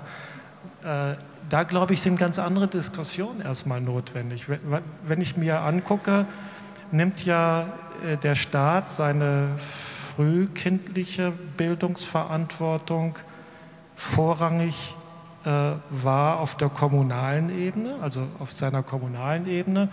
Und zu, Herr Rosbach kennt die Zahlen besser, zu zwei Drittel so etwa gibt äh, diese staatliche Institution das an traditionelle Verbände. Und innerhalb eines Landes sind dort ganz unterschiedliche Vorstellungen, wo denn die pädagogischen Schwerpunkte, wo denn die, äh, ich will mal so sagen, die Zielsetzungen, die impliziten Curricula, wenn es die gibt, der Begriff ist schon falsch, weil das keine Curricula sind, liegt. Und, äh, und die Qualitätsdiskussion im pädagogischen Sinne gehört eigentlich in diese Kontexte. Und ich, mir wäre es lieber, man würde nicht vom Qualitätsgesetz sprechen, um die beiden Ebenen zu vermischen, sondern vom Mindestressourcengesetz für Kitas. Und dann kann man die Qualitätsdiskussion, glaube ich, da führen, wo die Beteiligten, und das geht auch gar nicht ohne die Träger, weil ich glaube, äh, die sind die, sozusagen die dominanten Fachaufsichten für das, was dann an pädagogischer Arbeit passiert. Mindestressourcengesetz lässt sich nicht so gut politisch verkaufen, Frau Brandner? Ich wollte noch mal kurz eine Sache äh, auch klarstellen wegen Fachkraft-Kind-Relation und Vorbereitungszeiten, Elternarbeitszeiten. Das hängt ja sehr eng zusammen. Ja? Was meinen Sie, was wir mit unseren Ländern hart verhandelt haben, dass das der, die Fachkraft Kind-Relation ist nicht der Personalschlüssel. Für den Personalschlüssel hätten wir unsere Leute sofort irgendwie da uns einigen können, sondern es ging ja genau darum zu sagen, es ist der Fachkraft-Kind-Schlüssel und dazu kommen dann die Zeiten zur Elternarbeit etc. Das ist ja, das ist da schon implizit drin. Das waren die härtesten Verhandlungen, ob wir diesen Begriff nehmen oder Personalschlüssel, ähm, genau wegen dieser Frage. Ähm, äh, und äh, deswegen würde ich das nicht so als entweder oder sehen, sondern die hängen ja sehr eng zusammen. Ähm, und bei der Frage bei den pädagogischen Konzepten der Qualität. Da haben wir auf Länderebene, in vielen Ländern läuft ja genau diese Debatte. Werden die überarbeitet? Wie verbindlich sind die? Gibt es Qualitätsinstitute? Gibt es dann zertifizierte Evaluierer? Äh, macht man es dann mit dem drei Sternchen? Oder ist es nicht eher das Ziel, dass man den Prozess sieht? Und ich sage, es gibt die Standards. Da gibt es ja auch sehr unterschiedliche, zumindest aus der Wissenschaft, unterschiedliche Empfehlungen, äh, ob man das eben eher mit festen Standards oder dynamisch sieht. Also aber ich glaube, das würde ich zumindest zum derzeitigen Zeitpunkt, würde ich ja auch sagen, noch nicht auf einer Bundesebene vereinheitlicht sehen, sondern wäre ganz froh, wenn wir schon mal auf Landesebene da überall die Schritte weiterkommen. Ähm, und da muss diese Debatte auch stattfinden. Ich glaube, sie findet auch statt. Aber das vielleicht vom Titel her, aber ich glaube ja. trotzdem, dass Qualität auch zusammenhängt mit den Ressourcen. Also aber ist nicht es ganz jetzt, trennbar. Ja, aber wenn jetzt Herr Hasselhorn von Seiten der Wissenschaft so einen Vorschlag macht, Mindestressourcengesetz, ja. wäre das nicht etwas, wo Sie sagen können, ja, Frau Brandner, Herr Weinberg, jawohl, machen wir. Wenn das Kind dann den Namen Mindestressourcengesetz hat und wir trotzdem die Gelder für die Fachkraft-Kind-Relation bekommen, habe ich damit kein Problem. Ich will nur einen Satz sagen zu Ihrer ökonomischen Betrachtung. Also wir produzieren kein VW, der irgendwo überall gleich sein muss, sondern ein bisschen mehr den, der, der Kommunen und auch den Ländern. VW war jetzt möglicherweise das falsche Beispiel. Könnte man noch viel zu sagen, aber es ist eine andere Geschichte. Ich habe nur die herzliche, ich habe nur die herzliche Bitte. Das ist hier in Berlin, im schönen Berlin mit vielen klugen Menschen, alles auch gut zu bereden. Aber haben wir doch ein bisschen mehr Vertrauen in diejenigen, die in den Ländern und auch in den Kommunen die Bildungsverantwortung haben. In Schleswig-Holstein gibt es, glaube ich, kluge Menschen, die wissen, wie ihre Kitas aufgebaut sind, wie sie sich entwickelt haben. Und in Nordfriesland kennt man die Gegebenheiten der einzelnen Kitas noch besser. Ein bisschen mehr Vertrauen den Ländern, das müssen wir hier in Berlin nicht alles regeln. Ich glaube schon, dass wir da etwas mehr Verantwortung auch dezentral platzieren müssen, weil wir sehr unterschiedliche Entwicklungen haben. Ich also ich gebe Ihnen absolut recht, wir müssen eine ganze Menge dezentral machen. Wir müssen auch sozusagen die, die Situation vor Ort in den Kommunen, in den Nachbarschaften mit in den Blick nehmen. Aber das eine schließt ja das andere nicht aus. Also ich denke, ich halte nichts davon, ich widerspreche Herrn Hassehorn auch äußerst ungern, aber das Ganze in ein Ressourcengesetz umzuwandeln und zu sagen, wir brauchen dann zusätzlich noch eine Qualitätsdiskussion. Wir brauchen doch beides. Wir brauchen eine Qualitätsdiskussion, die letztendlich auch sowas mit einschließt. Wir haben doch jahrzehntelang in Deutschland diese Diskussion gehabt und es ist ja bisher so, dass die Kommunen und Länder alle ihre Freiheiten alle haben. Aber das Resultat dessen ist ja, dass wir einen extremsten Flickenteppich haben und dass wir tatsächlich riesige, riesige Unterschiede in der Qualität haben. Und deshalb glaube ich nicht, dass man mit einem Bundesqualitätsgesetz die Lösung hat. Aber es stößt eine Debatte an, wo ich gerade sagen würde, es darf aus dem Titel überhaupt nicht heraus, weil es tatsächlich ein Signal setzt. Wir müssen uns in Gesamtdeutschland darüber Gedanken machen, wie wir eine gute Qualität in diesen wichtigen Bildungsbereich kriegen. Herr Weinberg, sofort auf die. Ja, bei mir, ja, da stimme ich jetzt mal in einem Teil zu, weil es mich dann auch ärgert. Ich nenne mal ein Beispiel, wo man auch Prioritäten setzt. Wenn das Land mit dem schlechtesten Betreuungsschlüssel als allererstes entscheidet, die Kostenfreiheit einzuführen, dann setzt man tatsächlich falsche Schwerpunkte. Das sage ich auch ganz Da bin ich Ihnen voll bei Ihnen. Dann, Fragen, dann, diskutieren wir jetzt noch ja. die Kostenfrage, eine ganz spannende, wo Ökonomen wirklich viel zu sagen Aber können. Was ich jetzt schon mal fragen muss in die Runde, weil wir reden jetzt ständig von Qualität. Wir haben gehört vom Herrn Hasselhorn, Qualität setzt sich unter anderem zusammen, wenn ich ein entsprechend kompetentes Team zusammengesetzt habe, an Erzieherinnen, Psychologen, Sozialarbeitern. Äh, wir haben jetzt gerade schon den Betreuungsschlüssel der sollte, können wir ja auch mal definieren, so oder so groß sein. Aber ansonsten, vielleicht haben Sie noch ein, zwei andere Vorschläge, weil es wird ja immer ganz gerne in Deutschland über Qualität gesprochen. Qualität im Journalismus, Qualität in der Wissenschaft, Qualität in der Politik. Aber das ist so ein Nullwort, sage ich mal. Vielleicht könnten Sie das mal noch ein bisschen auch fürs Publikum ausführen. Was müsste denn in diesem Qualitäts, in den nationalen Qualitätsstandardsgesetz, wie auch immer wir es jetzt definieren, drinstehen an fünf Punkten. Frau Buntschuss, ich gehe jetzt mal hier die Runde rum. Dann fange ich mal an mit einem Punkt. Ähm, Leitungsfreistellungszeiten, klar definierte. Herr Weinberg? Stehen schon bei einigen, aber äh, ich würde den Betreuungsschlüssel als Schwerpunkt setzen tatsächlich. Und wie wäre der? Ich würde mich an 1 zu 4, bei, im Krippenbereich 1 zu 4 festhalten, weil, glaube ich, sozusagen zwischen Bertelsmann und OECD kann man lange diskutieren, aber das wäre zum Beispiel ein Satz. Und wo haben wir das in Deutschland? Wir haben ihn leider nur in Bremen und wenn ich es richtig weiß, in Baden-Württemberg. Die Bremer sind übrigens, Stichwort auch Thema Verschuldung, die haben da einen Schwerpunkt gesetzt, muss man auch mal akzeptieren und anerkennen. Äh, meinem Bundesland äh, ist da eher auf dem letzten Platz. Also sozusagen der Betreuungsschutz 1 zu 4, das ist glaube ich äh, OECD, wenn ich es richtig weiß, äh, den sollten wir als Maßstab auch nehmen. Ja, mich freut es sehr, weil es ist ja genau das, was ich, was ich vorhin gefordert habe. Ähm, was ich noch hinzufügen würde, ist diese Frage der Qualitätsprozesse ähm, und wie man die unterstützen kann, auch von Bundesseite aus. Das finde ich sehr wichtig. Herr Hasselhorn? Ich, ich, ich steige jetzt mal sozusagen in eine andere Ebene ein, weil ich in zwei Bundesländern in den letzten Jahren die Gelegenheit hatte, solche Diskussionen zwischen Trägerverbänden, Landesvertretern, Kommunalvertretern äh, mitzubekommen. Und diese Diskussionen, die sind schon fast zerbrochen an der Frage, ob die Sicherstellung der individuellen Schulbereitschaft von Kindern ein Ziel von Kindertagesstätten sein sollte oder nicht. Die individuelle Schulbereitschaft sicherzustellen als Ziel, nur als Ziel. Und das wäre finde ich eine lohnenswerte Diskussion für Qualitätsstandards. Frau Spieß? Ich ähm, als quantitativ arbeitende Forscherin würde ganz stark auch für ähm, Kindbetreuerschlüssel plädieren. Wir wissen auch, was es da sozusagen an, an Fakten gibt. Ähm, ein ganz wichtiger Punkt für jemanden, der sich auch sehr mit der Nachfrageseite auseinandersetzt, ist ähm, auch die die Eltern-Erzieherinnen-Interaktion, die ich auch ganz, ganz wichtig fände, die mit in den Blick zu nehmen in einem solchen Gesetz, dass die nicht untergeht und da tatsächlich mit zu bedenken, dass ohne die Eltern dann wiederum auch gar nichts geht und wir deshalb da auch eine sehr, sehr gute Zusammenarbeit brauchen. Herr Rosbach? Ich glaube, ich würde auf die Fort- und Weiterbildung setzen. Wir haben es eine sehr, sehr hohe Weiterbildungsmotivation beim bestehenden Personal. Das Personal besucht viele unterschiedliche Weiterbildungsveranstaltungen. Ich könnte mir aber auch vorstellen, das kann man wahrscheinlich nicht im Gesetz machen, aber so ein Bundesweiterbildungsprogramm mit einem Zertifikat abzuschließen, um das ganze System nach oben zu bringen.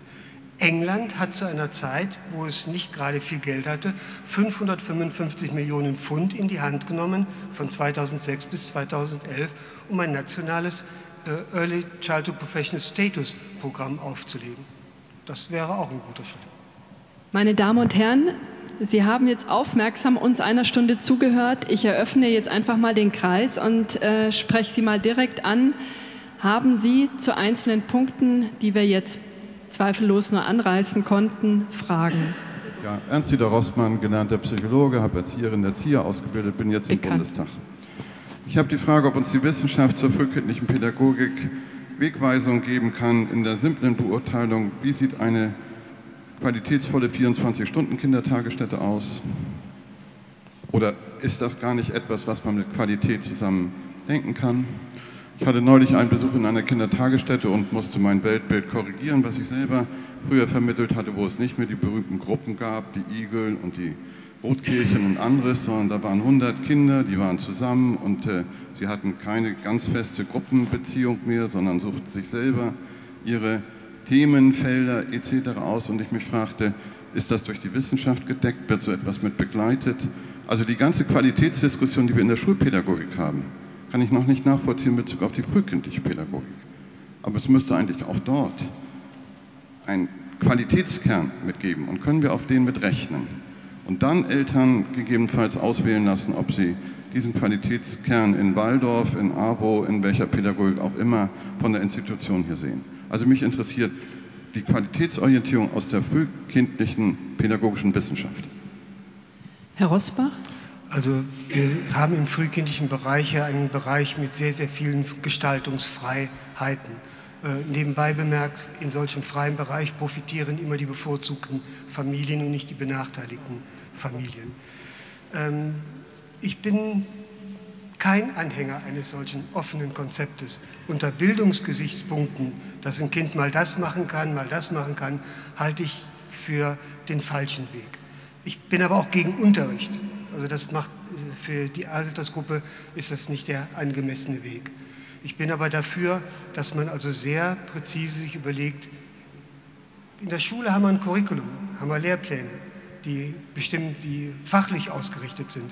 Im frühkindlichen Bereich haben wir Bildungspläne. Die sollen ja nicht schulvorbereitend sein, obwohl ähm, man ganz schön blind sein muss, wenn da Mathematik gefördert wird im Kindergarten, dass das nicht irgendeine Beziehung zum Schulfach Mathematik hat. Also da denke ich mir, müssen wir viel stärker und da können auch Bildungspläne eine wichtige Rolle spielen, an solchen Förderungen in gezielten Entwicklungsbereichen arbeiten. 24-Stunden-Kitas unter Bildungsgesichtspunkten 24 Stunden, weiß ich nicht, ob das sinnvoll ist. Herr Hasselhorn, Sie wollten? Ich, ich hatte darauf reagieren wollen, weil ähm, die Frage ist das wissenschaftlich fundiert. Ähm, die ist ja jetzt schon strenger formuliert als eben, eben in der Frage. Äh, die Praxis ist ja so, dass man immer irgendeinen Wissenschaftler findet, der irgendetwas empfiehlt und deswegen hält man es für wissenschaftlich begründet. Die, hier würde jetzt äh, eine, eine, wissenschaftliche Begleitung, wie wir sie auch im Leibniz Forschungsverbund versuchen, aus den unterschiedlichen Disziplinen zu betreiben, würde die Frage stellen, was sind eigentlich die Ziele, unter denen ich als Wissenschaftler bewerte, ob es diese Ziele erreichen kann oder nicht. Und wenn ein Ziel, deswegen habe ich auch vorhin dieses Thema mit der Schulbereitschaft angefangen, weil ich war in diese Diskussion gegangen, weil ich das für ein selbstverständliches Ziel von früh vorschulischen Einrichtungen hielt, musste dann aber lernen, dass das nicht so ist. Ja? Und äh, wenn, wenn wir jetzt, äh, wir können sozusagen fast beliebige Konstellationen von Bildungsangeboten machen, wo die obere Hälfte äh, von sozialen Hintergründen und von neurokognitiven, biologischen Voraussetzungen der Kinder keinen Schaden dran nimmt. Die Systeme, die wir brauchen, müssen darauf achten, dass die andere Hälfte der Bevölkerung nicht abgehängt wird. Das ist eigentlich, wenn eine staatliche Verantwortung für Bildung da ist, in meinen Augen die Voraussetzung. Und unter der würde ich Herrn Rosbachs äh, Einschätzung teilen, in dem, was Sie jetzt jedenfalls skizziert haben, ohne dass ich die Einrichtung im Einzelnen kenne, wäre das genau meine Sorge, dass das eine Verwahranstalt wird, bei der die individuellen Differenzen in den nachher bildungsrelevanten Voraussetzungen, die sich in diesem Alter bilden, größer werden als in bisherigen anderen Formaten. Was ja auch alle Studien belegen bisher. Nur eine ganz kurze Anmerkung. Natürlich muss der Kindergarten die zukünftige Karriere und damit die Schulkarriere im Auge behalten. Das ist der Ansatz von Friedrich Fröbel 1848. Für den war Schulvorbereitung, Blick auf die folgende Schulkarriere, das war das Ziel seines Kindergartens. Deswegen glaubte ich auch, dass das selbstverständlich sei. Hier war noch ich denke, eine. Alle, ja, darf ich sozusagen als Volkswirte noch dazu sagen, es ist nicht nur das Ziel der Schulvorbereitung, frühe Förderung und frühe Bildung ähm, bedeutet ja letztendlich, Kinder auf unterschiedliche Lebensbereiche vorzubereiten. Und deshalb glaube ich, wäre es auch zu eng. Wir diskutieren jetzt den Kindergarten nur als Schulvorbereitung. Das wäre mir nochmal auch selbst aus einer genau. Ökonomenperspektive ganz, das, ganz wichtig. Das habe ich auch gar nicht sagen wollen. So ein bisschen, als ob das. Es gibt also es gibt ja ganz viele Ziele, was die Kita mit erreichen wollen. Und das ist ja in der Tat eine ganz spannende Diskussion. Wenn wir als Wissenschaftler schauen wollen, ob eine Kita tatsächlich die Effekte erreicht, die wir uns wünschen, müssen wir die Frage erstmal stellen, welche Effekte wollen wir denn überhaupt, dass sie erreicht?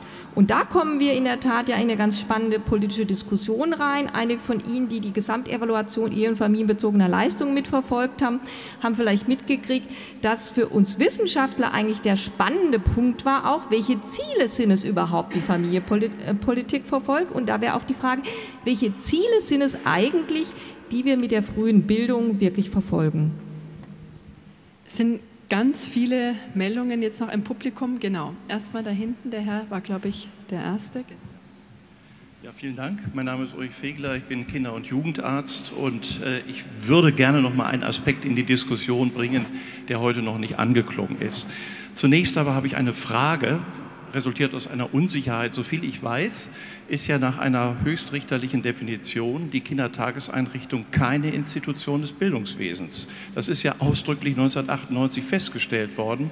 Und meines Erachtens würde es strukturell vieles erleichtern, wenn tatsächlich Kindertageseinrichtungen, so wie das ja auch immer diskutiert wird, tatsächlich mit zum Bildungssystem gehören würden. Das wäre eine Möglichkeit und vielleicht ein Nachdenken wert auch auf Seiten der Politik. Zweiter Punkt. Ähm, nun ist es so, dass die äh, Kindertageseinrichtungen, die wir haben, nach wie vor ja eines nicht ähm, bemänteln können. Nach wie vor ist ja der Bildungserfolg unserer Kinder extrem abhängig vom sozialen Status der Eltern. Das hat sich auch in den letzten Jahren überhaupt nicht verändert. Und ähm, wir müssen leider Gottes in Rechnung stellen, dass hier auch äh, die Kindertageseinrichtungen äh, nichts Wesentliches verändert haben. Schauen Sie sich allein nur die Ergebnisse der äh, Sprachstandserhebungen äh, in den äh, Schuleingangsuntersuchungen an. Hier hat sich in den letzten zehn Jahren in Berlin nicht viel gerührt, trotz der vielen Programme, die da sind. Das muss man einfach mal erheben. Deswegen ist für mich die Frage, erreichen wir eigentlich die Kinder, für die es wirklich wichtig ist? Und ich finde, diese Feststellung müssen wir immer wieder machen.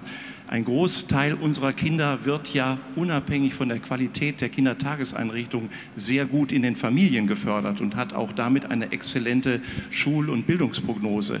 Aber erreichen wir denn die Kinder, auf die es wirklich ankommt, diese 15 bis 20 Prozent in einem ausreichenden Maße nur über die Kindertageseinrichtung. Ist es nicht erforderlich, dass man die Kindertageseinrichtungen auch dann kombiniert, doch mit ein, mit Angeboten, die auch die Familien dieser Kinder mit einbeziehen? Also sind wir in der Lage, sozusagen ein Kind aus diesen Familien isoliert zu betrachten, zu fördern und dann wieder in diese Familie, ich sage es mal etwas provokativ, zurückzuschicken, teilweise in diese Medienhöllen, die ja dort er, äh, erwartbar sind für diese Kinder. Und ist es nicht viel richtiger, wenn man solche Angebote äh, gibt, natürlich von hoher qualitativer äh, äh, Ebene und mit einer guten Fördereinrichtung für die Kinder, dass dann auch an die Eltern gedacht wird. Also das heißt, gemeinsame Einrichtungen. Vielleicht noch ganz kurz ein dritter Punkt, was heute nicht gesehen wird. Es wird leider Gottes von den Kindertageseinrichtungen pathologisiert, ich sage es mal vulgär, dass die Schwarte kracht. Das heißt, wenn Kinder in irgendeiner Form entwicklungsauffällig wird, wird es nicht mit pädagogischen Mitteln aufgefangen, sondern die Kinder werden zum Doktor geschickt. Und der Doktor sozusagen hat äh, eine äh, Prinziptherapie dafür zu entwickeln, das heißt eine Heilmittelverordnung aufzuschreiben. Das heißt, dieses Kind wird nicht im pädagogischen System belassen, sondern es wird ins Medizinsystem geschickt. Und ich sage Ihnen gleich, die Medizin kann das gar nicht. Das ist überhaupt nicht ihr Ding und damit kommen keine besseren Kinder raus. Das waren meine drei Bemerkungen. Vielen Dank. Vielen Dank. Ähm, vielleicht für das klare Plädoyer. Vielleicht erstmal an die Politik die erste Frage an Sie beide, Herrn Weinberg und Frau Brandner. Sollten Kitas Bildungseinrichtungen per Gesetz werden? Ja, ich unterstütze das ausdrücklich, äh, dass dem Grunde nach die Kinderta obwohl die Funktion von Kindertagesstätten sehr vielfältig ist.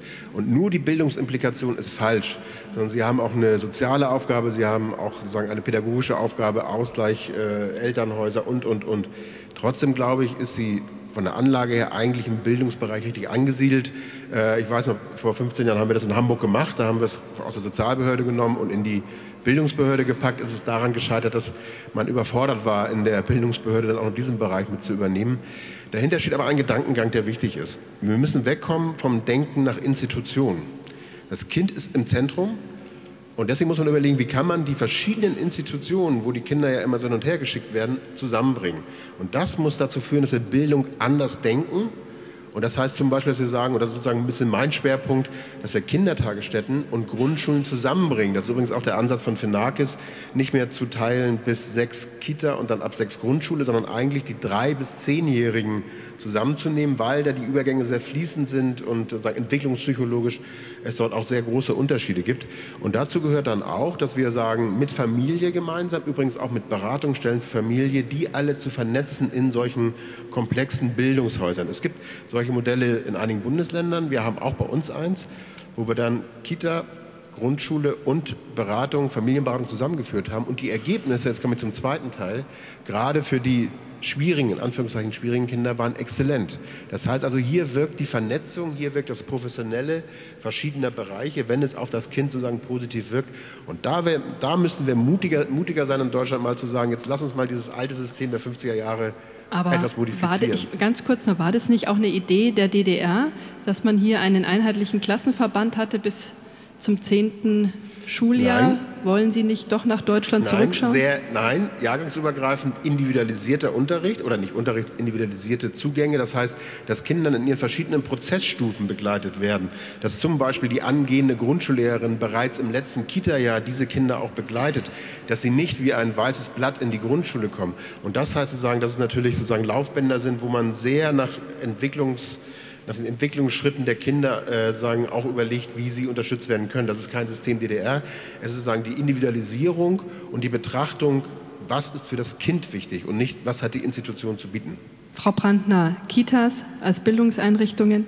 Ja, das ist ja ähm, eine alte Debatte, klares Ja. Für uns ähm, wollte ich nur ein Beispiel geben mit dem Einbeziehen der Familien. Ich weiß nicht, ob Sie das Rheinland-Pfalz kennen. Dort gibt es die Kita Plus. Das ist genau die Idee, dass man das ausweitet mit Richtung Familienzentren ähm, und dort andere Akteure mit ins Boot holt und nicht den Endler den Schein gibt und sagt, gehe dorthin, weil man dann die Erfahrung macht, dass es eben nicht funktioniert, sondern es besser ist, wenn man die Akteure in die Kita holt. Dazu braucht man dort aber auch extra Räume zum Beispiel.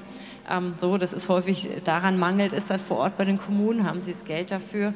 Ähm, und wie wird das, äh, sage ich mal, auch verbindet zum Beispiel mit den frühen Hilfen und den Netzwerken, die es dazu gibt. Also, dass man auch dort, es gibt jetzt die Studien, die werden auch bald kommen, zur Auswertung ähm, bei den frühen Hilfen zum Beispiel sieht, dass die Kitas sehr unterschiedlich einbezogen sind in die Netzwerke frühe Hilfen. Und meiner Meinung nach gehört das ganz stark mit dazu. Aber dafür brauchen die eine Freistellung, zum Beispiel Leitungskapazitäten, ähm, um an diesen Netzwerktreffen beteiligt zu sein. Und da die unterschiedlichen Systeme zusammenzubringen, die in den letzten Jahren auf den Weg gebracht wurden. Ich glaube, da ist Kita ein sehr guter Ort. Man darf aber auch nicht vergessen, dass da auch nicht alle sind. Ja, und von daher ist die Möglichkeit auch trotzdem noch, dass man dann solche Familienzentren auch öffnet für jene, die noch nicht in der Kita sind, aber vielleicht mal dadurch auch dahin kommen ähm, und Orte erstmal kennenlernen, Vertrauen finden. Ähm, ich finde in dem Zusammenhang darf man auch Kindertagespflege, die haben wir jetzt heute Abend noch gar nicht erwähnt, auch nicht vergessen. Das ist manchmal ein Angebot, was manche eher bereit sind, in Anspruch zu nehmen als eine Kindertagesstätte. Auch dort nach der Qualität zu fragen, wie werden die einbezogen, wie sind die fachlich begleitet. Also wenn man sagen wir, diesen Anspruch, die unterschiedlichen Punkte zusammenzubringen, auch Gesundheitssystem mit Blick auf frühe Hilfen, ja, da haben wir ja auch noch einiges an Hürden für Kinderärzte nicht abbrechenbar, wenn sie an der Sitzung teilnehmen. Für die anderen Fachkräfte ist es Teil ihrer Arbeitszeit. Gut. Also ich glaube, wenn man diese Kohärenz in den jungen Jahren muss ein großes Ziel sein und da muss man in so vielen Gesetzbüchern anfangen, aber es muss auf jeden Fall, also ist ein ja. sinnvolles Ziel. Vielen Dank jetzt an die Wissenschaft nochmal. Das war ja die große Erkenntnis der ersten PISA-Studien und vielen weiteren. Der Bildungserfolg der Kinder hängt von ihrer sozialen Herkunft ab. Und es stimmt, bis heute hat sich eigentlich nur marginal was verändert. Ja, was tun?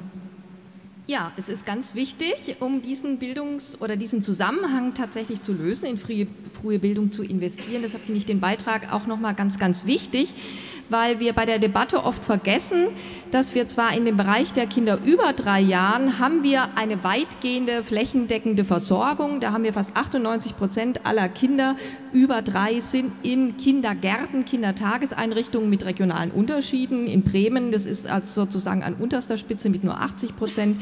Thüringen sind es fast 97 Prozent. Aber in dem U3-Bereich, da haben wir tatsächlich ein Phänomen über die Jahre beobachten können also in dem Bereich der Kinder unter drei Jahren, dass der Ausbau, der quantitative Ausbau tatsächlich dazu geführt hat, dass überproportional Kinder aus bildungsstarken Elternhäusern, überproportional Kinder aus einkommensstarken Elternhäusern von diesem Ausbau profitieren und wir mit diesem Ausbau gerade nicht Kinder aus einkommensarmen Elternhäusern, Kinder aus bildungsfernen Elternhäusern erreichen. Gleichwohl wir wissen, dass die durchaus bei einer guten Qualität auch davon profitieren können. Wenn wir also überlegen wollen, was, wie schaffen wir es, dass wir wirklich allen Familien Angebote machen, ist es die Frage, warum sind die nicht in den Einrichtungen? Ist es, weil die Einrichtungen sie nicht ähm, nehmen? Ist es, dass sie den Weg nicht dahin finden? Da gibt es ganz unterschiedliche Analysen darüber. Meines Erachtens ist es wichtig, dass wir über die Bedeutung informieren. Und da bin ich auch wiederum ganz bei dem Vorschlag, den es nicht nur in Rheinland-Pfalz gibt, in Nordrhein-Westfalen, selbst Berlin, Eltern-Kind-Zentren, Familienzentren, alle diese Zentren, die sozusagen kommunaler Nahraum, Öffnungen nach außen, dass das ein ganz, ganz wichtiger Weg ist und der ein bisschen auch das mit reinbringt, was ich vorhin gesagt habe, sozusagen Eltern und Kindern gemeinsam zu denken und Angebote zu schaffen, wo wir beide mit erreichen. Da glaube ich, ist, wissen wir nicht nur aus äh, deutschen Länderstudien, sondern auch aus, äh, aus UK, dass da tatsächlich die volkswirtschaftliche Rendite wirklich noch höher ist.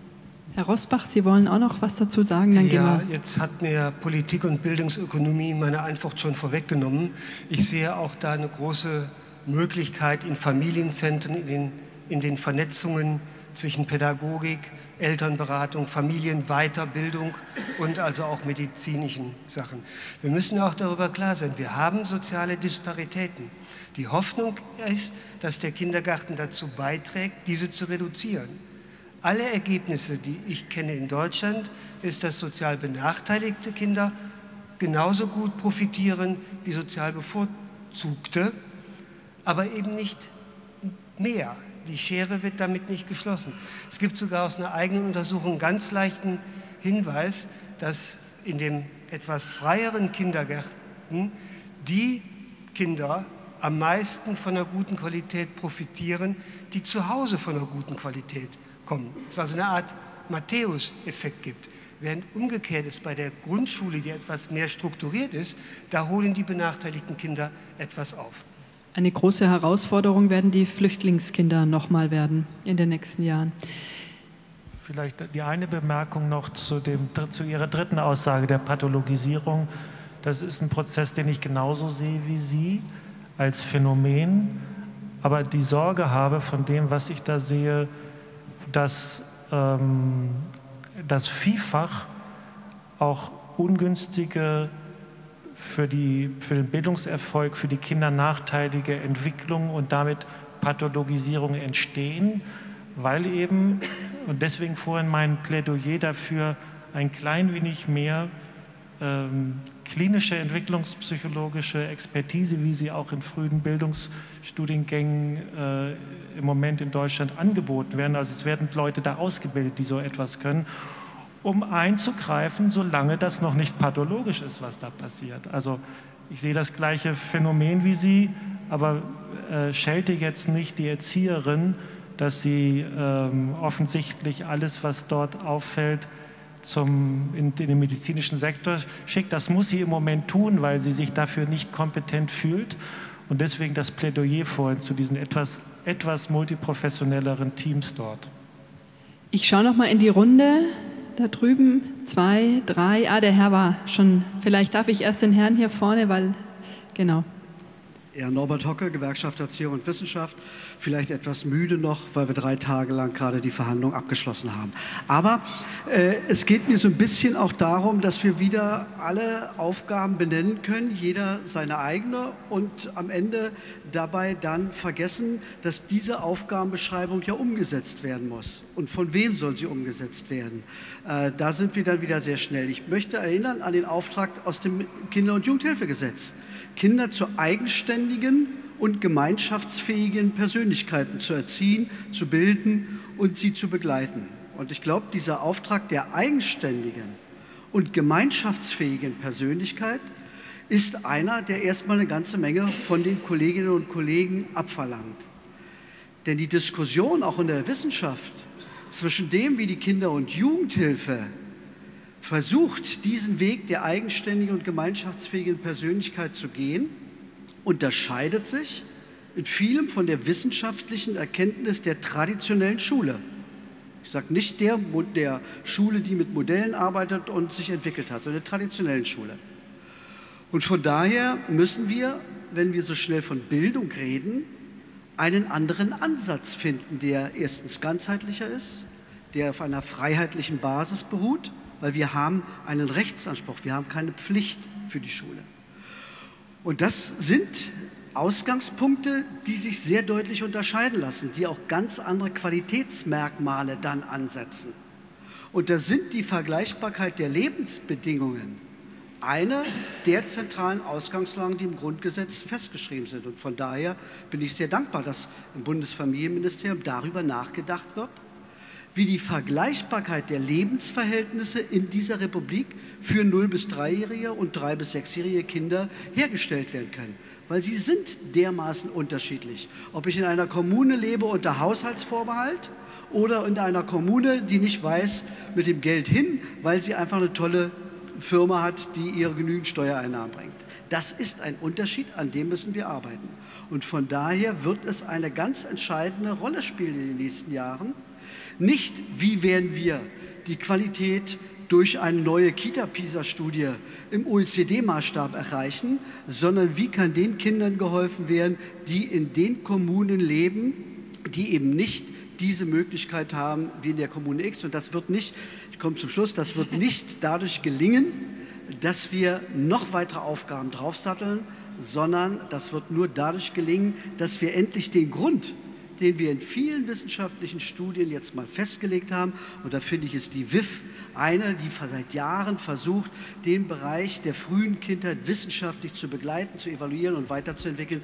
Eine der ganz entscheidenden Punkte. Wir müssen endlich Handlungskonsequenzen ziehen aus dem, was wir wissen und nicht den Kitas wieder neue Aufgaben zuweisen, sondern den Weg jetzt konsequent gehen des Umsetzungs. Das war jetzt ein richtiges Plädoyer. Ich sammle jetzt einfach noch mal Fragen, weil wir jetzt schon auch ziemlich lang diskutieren. Ja, der Herr da vorne. Michael Fritz, Stiftung Haus der kleinen Forscher. Mich interessiert noch dieses Thema der Qualifizierung von pädagogischen Fachkräften in Kita, Hort und Grundschule. Quantität ist das eine, also die kind, äh, Erwachsenen-Kind-Relation, aber es müssen auch die richtigen Leute mit den richtigen Kompetenzen an diesem, mit diesen Kindern arbeiten. Und diese Menschen haben ja auch wieder verdient, langfristig darin begleitet zu werden, erfolgreiche Arbeit leisten zu können. Können wir es weiterhin dem Zufall überlassen, welche Personen, die mit Kindern zwischen drei und zehn Jahren arbeiten, sich wann, wie, wie oft und wie lange qualifizieren? Wunderbar. Die dritte Frage. Ja, jung, Lehrer und jetzt auch im Bundestag. Meine Frage geht ein bisschen in die Richtung. Wenn ich vor einer Kita stehe, heute habe ich viele Zertifikate, da wird Englisch unterrichtet, Französisch, Chinesisch, Haus der kleinen Forscher kommt zu Besuch, dann ist der Chor, die Musikschule. Das wird ja nach außen als Bildung verkauft. Manchmal ist es natürlich auch Kommerz. Ich lasse das mal so offen stehen. Was sagt denn die Wissenschaft dazu? Äh, welche Standards werden denn hier gefordert? Wo sind Grenzen der Möglichkeiten oder vielleicht auch, was der Kollege von der äh, GEW gesagt hat, auch soziale Ungleichheiten, die da entstehen. Ja, vielen Dank. Vielleicht gleich an die Wissenschaft. Ich fange mal mit der letzten Frage an, dann muss ich nicht so weit zurückdenken, was da ist. Sie haben völlig recht. Es gibt diese Angebote, Musikschulen, äh, Sportvereine, die natürlich auch im frühen Bildungsbereich als Bildungsangebote gezählt werden. Auch da haben wir bereits die gleichen massiven sozialen Disparitäten wie nachher in der Schule. Das heißt, die äh, 80 Prozent derjenigen, die, äh, die nicht nur die Musikschule, sondern auch die Sportvereinangebote in dem Alter wahrnehmen, würden wir als Bildungsbürgertum oder höher gestelltere soziale Schichten bezeichnen. Das heißt, äh, in einem System, in dem wir, da sind wir in dieser normativen Debatte, ist das eine Bildungseinrichtung? Und vielleicht hat dieser höchstrichtige Beschluss, den ich nicht kenne, zum Ausdruck bringen wollen, dass wir da keine Pflicht haben.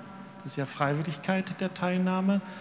Äh, das führt, so wie Herr Rosbach schon angedeutet hat, immer dazu, dass das große Grundproblem des Auseinanderdriftens äh, von den sozialen Herkünften her größer wird.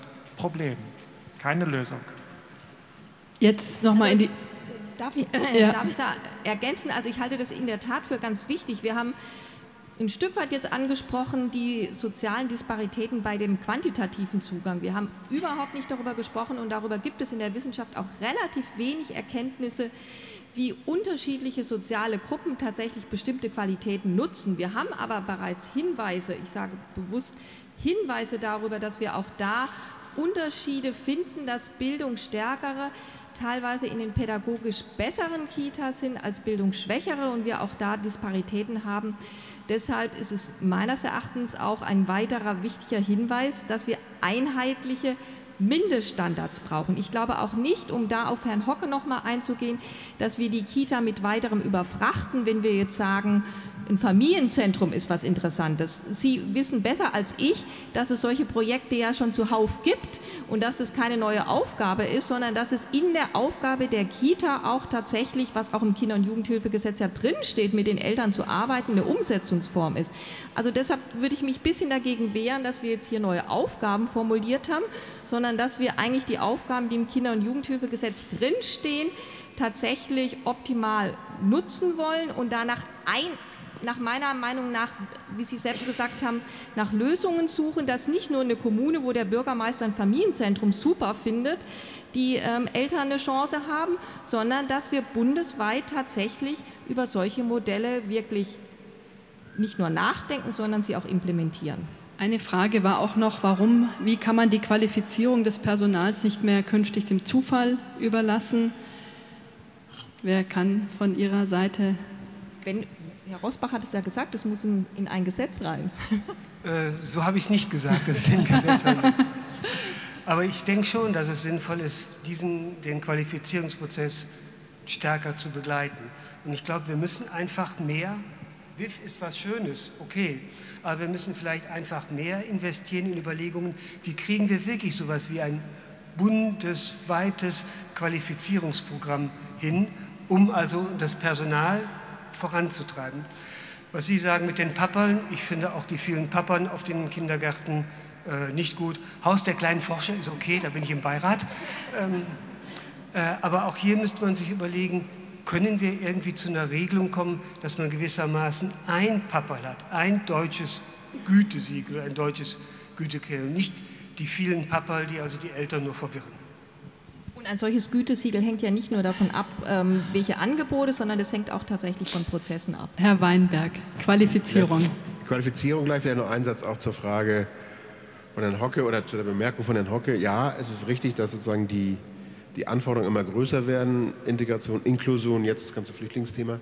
Ich will aber auch eins sagen, fairerweise muss man auch mal eins definieren. Wir haben in den letzten Jahr, Jahren unheimlich viel in diesem Bereich getan.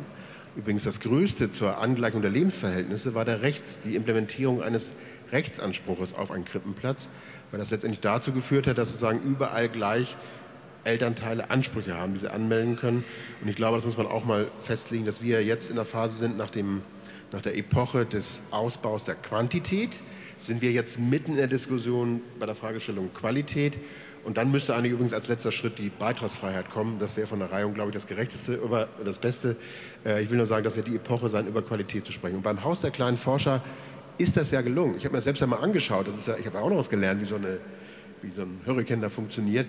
Aber da sieht man ja, wie es funktionieren kann über Qualifizierung, auch sozusagen temporär und punktuell, ohne eine akademische Grundausbildung zu haben. Und ich glaube, dass hier die Ansätze gegeben sind, dass man zum Beispiel auch sagt, bei der Fragestellung der Stundenzuweisung, dass man sagt, mindestens 30 Stunden Weiterbildung, Qualifizierung. Diese Angebote dann auch, und da glaube ich, kann der Bund einiges liefern, weil aus der kleinen Forscher ist ja eine, ein Modell des Bundes, dass da der Bund auch äh, sozusagen Schwerpunkte setzt, ähm, wie man Bildung auch schon noch implementiert und dann sagt, zum Beispiel 20, 30 Stunden im Jahr muss eine Weiterbildung, eine Qualifizierung äh, durchlaufen werden. Das kann sein, dass man Teamings, dieses Teambuilding, diese Teambuilding-Prozesse entwickelt oder aber sozusagen mit Blick auf die, auf die, auf die Sachen, die, die Sie machen, dieses implementiert. Ich glaube, dass da unheimlich große Chancen bestehen. Frau Brandner noch ganz kurz.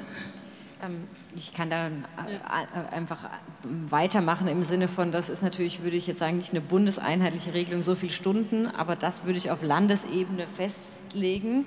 Ähm, das wird teilweise ja kommunal schon festgelegt und in einzelnen Bundesländern gibt es ja auch diese Qualifizierungspflichten, aber auf jeden Fall noch nicht bundeseinheitlich. Und ich finde, gerade haben Sie es nochmal gesagt, diese Qualitätsprozesse, ich finde das wirklich das Wichtigste. Es wird ja vor Ort, hängt es dann wirklich von ab, welche Weiterbildung ist gerade notwendig, welche Qualifizierungsmaßnahme braucht man. Und dann ist es eher so, dass man dort schauen muss, dass diese Säulen aufgebrochen werden zwischen auch den unterschiedlichen Berufen. Und vielleicht nochmal kurz zu dieser Akademisierung. Ich habe das Gefühl, dass es momentan einfach sehr viel zu wenig Plätze gibt und die auch immer noch reguliert werden, zum Beispiel über den Numerus Clausus, was ganz viele Leute raushaut, die eigentlich da sehr gut reinpassen würden. Und auch da das deutsche System an sich vielleicht gerade jene nicht zulässt, ähm, die vielleicht sogar am qualifiziertesten dafür fähren. Also auch wenn man sagt, was macht man jetzt, wenn man mehr Personal will, ist das zum Beispiel auch ganz konkret eine Sache, ähm, wo ich finde, wir noch wenig darüber diskutieren, wer kann überhaupt studieren, wer kann sich das leisten, was sind die Zugänge. Ähm, noch ein Punkt, der vielleicht nicht da war. Ich leite jetzt mal in die Abschlussrunde und stelle eine gegenläufige Frage. Erstmal an Seiten der Wissenschaft. Was soll, muss die Politik tun, damit wir eine hohe Qualität in der frühen Bildung bekommen? Herr Rosbach, in zwei Sätzen. Ähm, ich würde jetzt nichts gegen Bundesqualitätsstandards sagen, obwohl ich da sehr skeptisch bin. Ich denke, äh, vor allen Dingen die Aufgabe des Bundes, was ja auch schon gemacht wird, wo viel Geld investiert ist, ist äh, die inhaltliche Programmatik weiterzuarbeiten. Hier bei der Sprachförderung äh, einen Impuls zu geben. Das wäre auf Richtung Bund für mich das Wichtigste. Frau Spieß. Ja, ich möchte mit dem praktisch enden, was ich angefangen habe. Die Politik muss langfristig denken, damit sie sozusagen kurzfristig die Ressourcen mobilisieren kann, die notwendig sind, um eine gute Bildung tatsächlich anbieten zu können. Über Wahlen hinweg. Über Wahlen hinweg, langfristig. Herr Hasselhorn. Ja, dem würde ich mich anschließen und hinzufügen, ich würde mir wünschen, dass, die, äh, dass in der Politik auf die Agenda gesetzt wird, was sind eigentlich unsere Zielvorstellungen von dem, was nicht gesetzlicher Bildungsteil vorschulisch ist. Frau Buntschuss, was erwarten Sie von der Wissenschaft? In zwei Sätzen. Das gehört sich nicht, das wissen Sie, was die Freiheit der Wissenschaft angeht. Nein, ähm, ich bin ähm, sehr erfreut über die Entwicklung des Felds der Frühpädagogik insgesamt und auch durch die Hebung im gesamten Wissenschaftssystem dieses Themas. Also das, ist, das begleitet die Politik aufs Beste. Natürlich wünscht man sich von Seiten der Politik öfter mal die ein oder andere konkrete Aussage, die nicht äh, eine Aussage trifft, die gleich wieder zehnfach differenziert wird.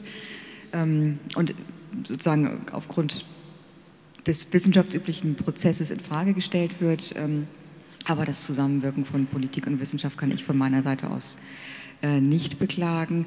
Ich freue mich, wenn ähm, die Wissenschaft, so wie es auch jetzt ist, an allen Orten zur Verfügung steht und vor allen Dingen auch nicht nur mit denen redet, die wir eh schon im System sind und Überzeugungstäter und ähm, sozusagen Gestalter sind, sondern vor allen Dingen auch mit denen redet, äh, die da noch nicht sind. Und da haben wir noch einige Disziplinen, die man auch davon überzeugen muss, mal ihre Perspektiven zu erweitern. Herr Weinberg, was tun Sie, damit die Qualität besser wird? Also mein Traum ist es ja weiterhin, dass wir eine Exzellenzinitiative äh, mit Blick auf die vorschulische vorschulische und frühkindliche Bildung auf den Weg bringen, wo wir ein Institut, ein richtiges Forschungsinstitut implementieren, was dann auch zum Beispiel die Wechselwirkung zwischen Bildungsimplikationen und Bindungsforschung, Bildungsforschung und Bindungsforschung hinbekommt. Ich glaube, dass wir da schon in der Bildungsforschung sind wir exzellent, keine Frage. Sitzt da drüben. Wollte ich gerade sagen, da sind wir exzellent. Da haben wir auch, glaube ich, weitestgehend äh, schon die Erkenntnisse, die wir auch brauchen. Äh, ich glaube, hier und da müssen wir das Thema Bindungsforschung und nochmal das Wirken von Familie, im Gesamtkontext mit Kita, mit weiteren Einrichtungen der Kinder- und Jugendhilfe das noch etwas stärker äh, ausbauen. Und wie gesagt, mein Wunsch ist es, dass wir eines Tages so eine Exzellenzinitiative haben für den Bereich vorschulische und frühkindliche Bildung. Frau Pantner? Also ich, wir arbeiten jetzt die nächsten Tage daran, dass das Geld vom Bund auch wirklich in die Kitas geht, in all den Ländern, wo wir mitregieren. Das ist, finde ich, jetzt erste vorderste Aufgabe von uns allen in der Politik, dafür zu sorgen, dass da kein Cent woanders hingeht äh, und es wirklich in die Kitas kommt. Ähm, äh, und dass wir weiter an diesen gemeinsamen Positionierungen arbeiten, dass auch wirklich war heute Abend nicht ganz so deutlich, aber es natürlich Differenzen zwischen Bund und Ländern gibt und wir die wirklich jede Partei für sich sauber ausarbeitet, damit wir am Ende wirklich sagen, das ist der Bund, der liefert das an Standards und an Geld und das ist das Land. Und ich glaube, das ist eine Hausaufgabe für uns. Und wenn ich noch eine Bitte an Sie haben könnte, diese pädagogischen Konzepte für die Kitas mit flexibleren Zeiten. In Belgien, in Frankreich gibt es da ja schon sehr viel, was dazu getan wird, das nach Deutschland zu bringen und vielleicht noch mehr zu forschen, was hilft den 15 bis 20 Prozent, die immer irgendwie einen Nachteil haben. Da glaube ich, würden, also zumindest ich habe den Eindruck, da würde ich gerne mehr wissen. Ja, meine Damen und Herren, Herr Rosbach, wir trinken ganz klein. Ein, einen ganz kurzen Satz wir dazu, weil trinken und reden und essen gleich noch. Wir äh, insgesamt vier Leibniz-Institute überlegen gerade, so ein virtuelles Zentrum, Forschungszentrum frühe Bildung zu machen. Gut. Gut. Leibniz-Zentrum. Okay, Leibniz. Ja, das ist schon mal gut. Dann, meine Damen und Herren, Sie haben jetzt lange, lange zugehört. Es war eine interessante Diskussion. Ich lade Sie im Namen der Leibniz-Gemeinschaft herzlich ein, hier noch auf einen Umtrunk und erinnere noch mal daran, morgen ist ja das Bildungspolitische Forum in der Vertretung des Landes Schleswig-Holstein. Sie sind alle eingeladen und können viele, viele Fragen, die wir jetzt hier nicht gestellt oder gar beantwortet haben, morgen noch mal vertiefen. Herzlichen Dank. Meine Damen und Herren, ich möchte nicht das letzte Wort haben. Es ergibt sich halt so. Ich möchte ganz herzlich danken für diese spannende, wunderbare Diskussion. Äh, ich fand es enorm zu sehen, welche Dissensfähigkeit in der wissenschaftlichen Debatte steckt und welche Konsensfähigkeit in, im politischen Diskurs steckt. Und das bei einem Thema, Und das bei einem Thema, was wir normalerweise als so unglaublich spannungsgeladen äh, erleben. Also ganz herzlichen Dank Ihnen. Ich glaube, das war ein Beleg für eine wunderbare Freundschaft und Partnerschaft. Herzlichen Dank. Dankeschön.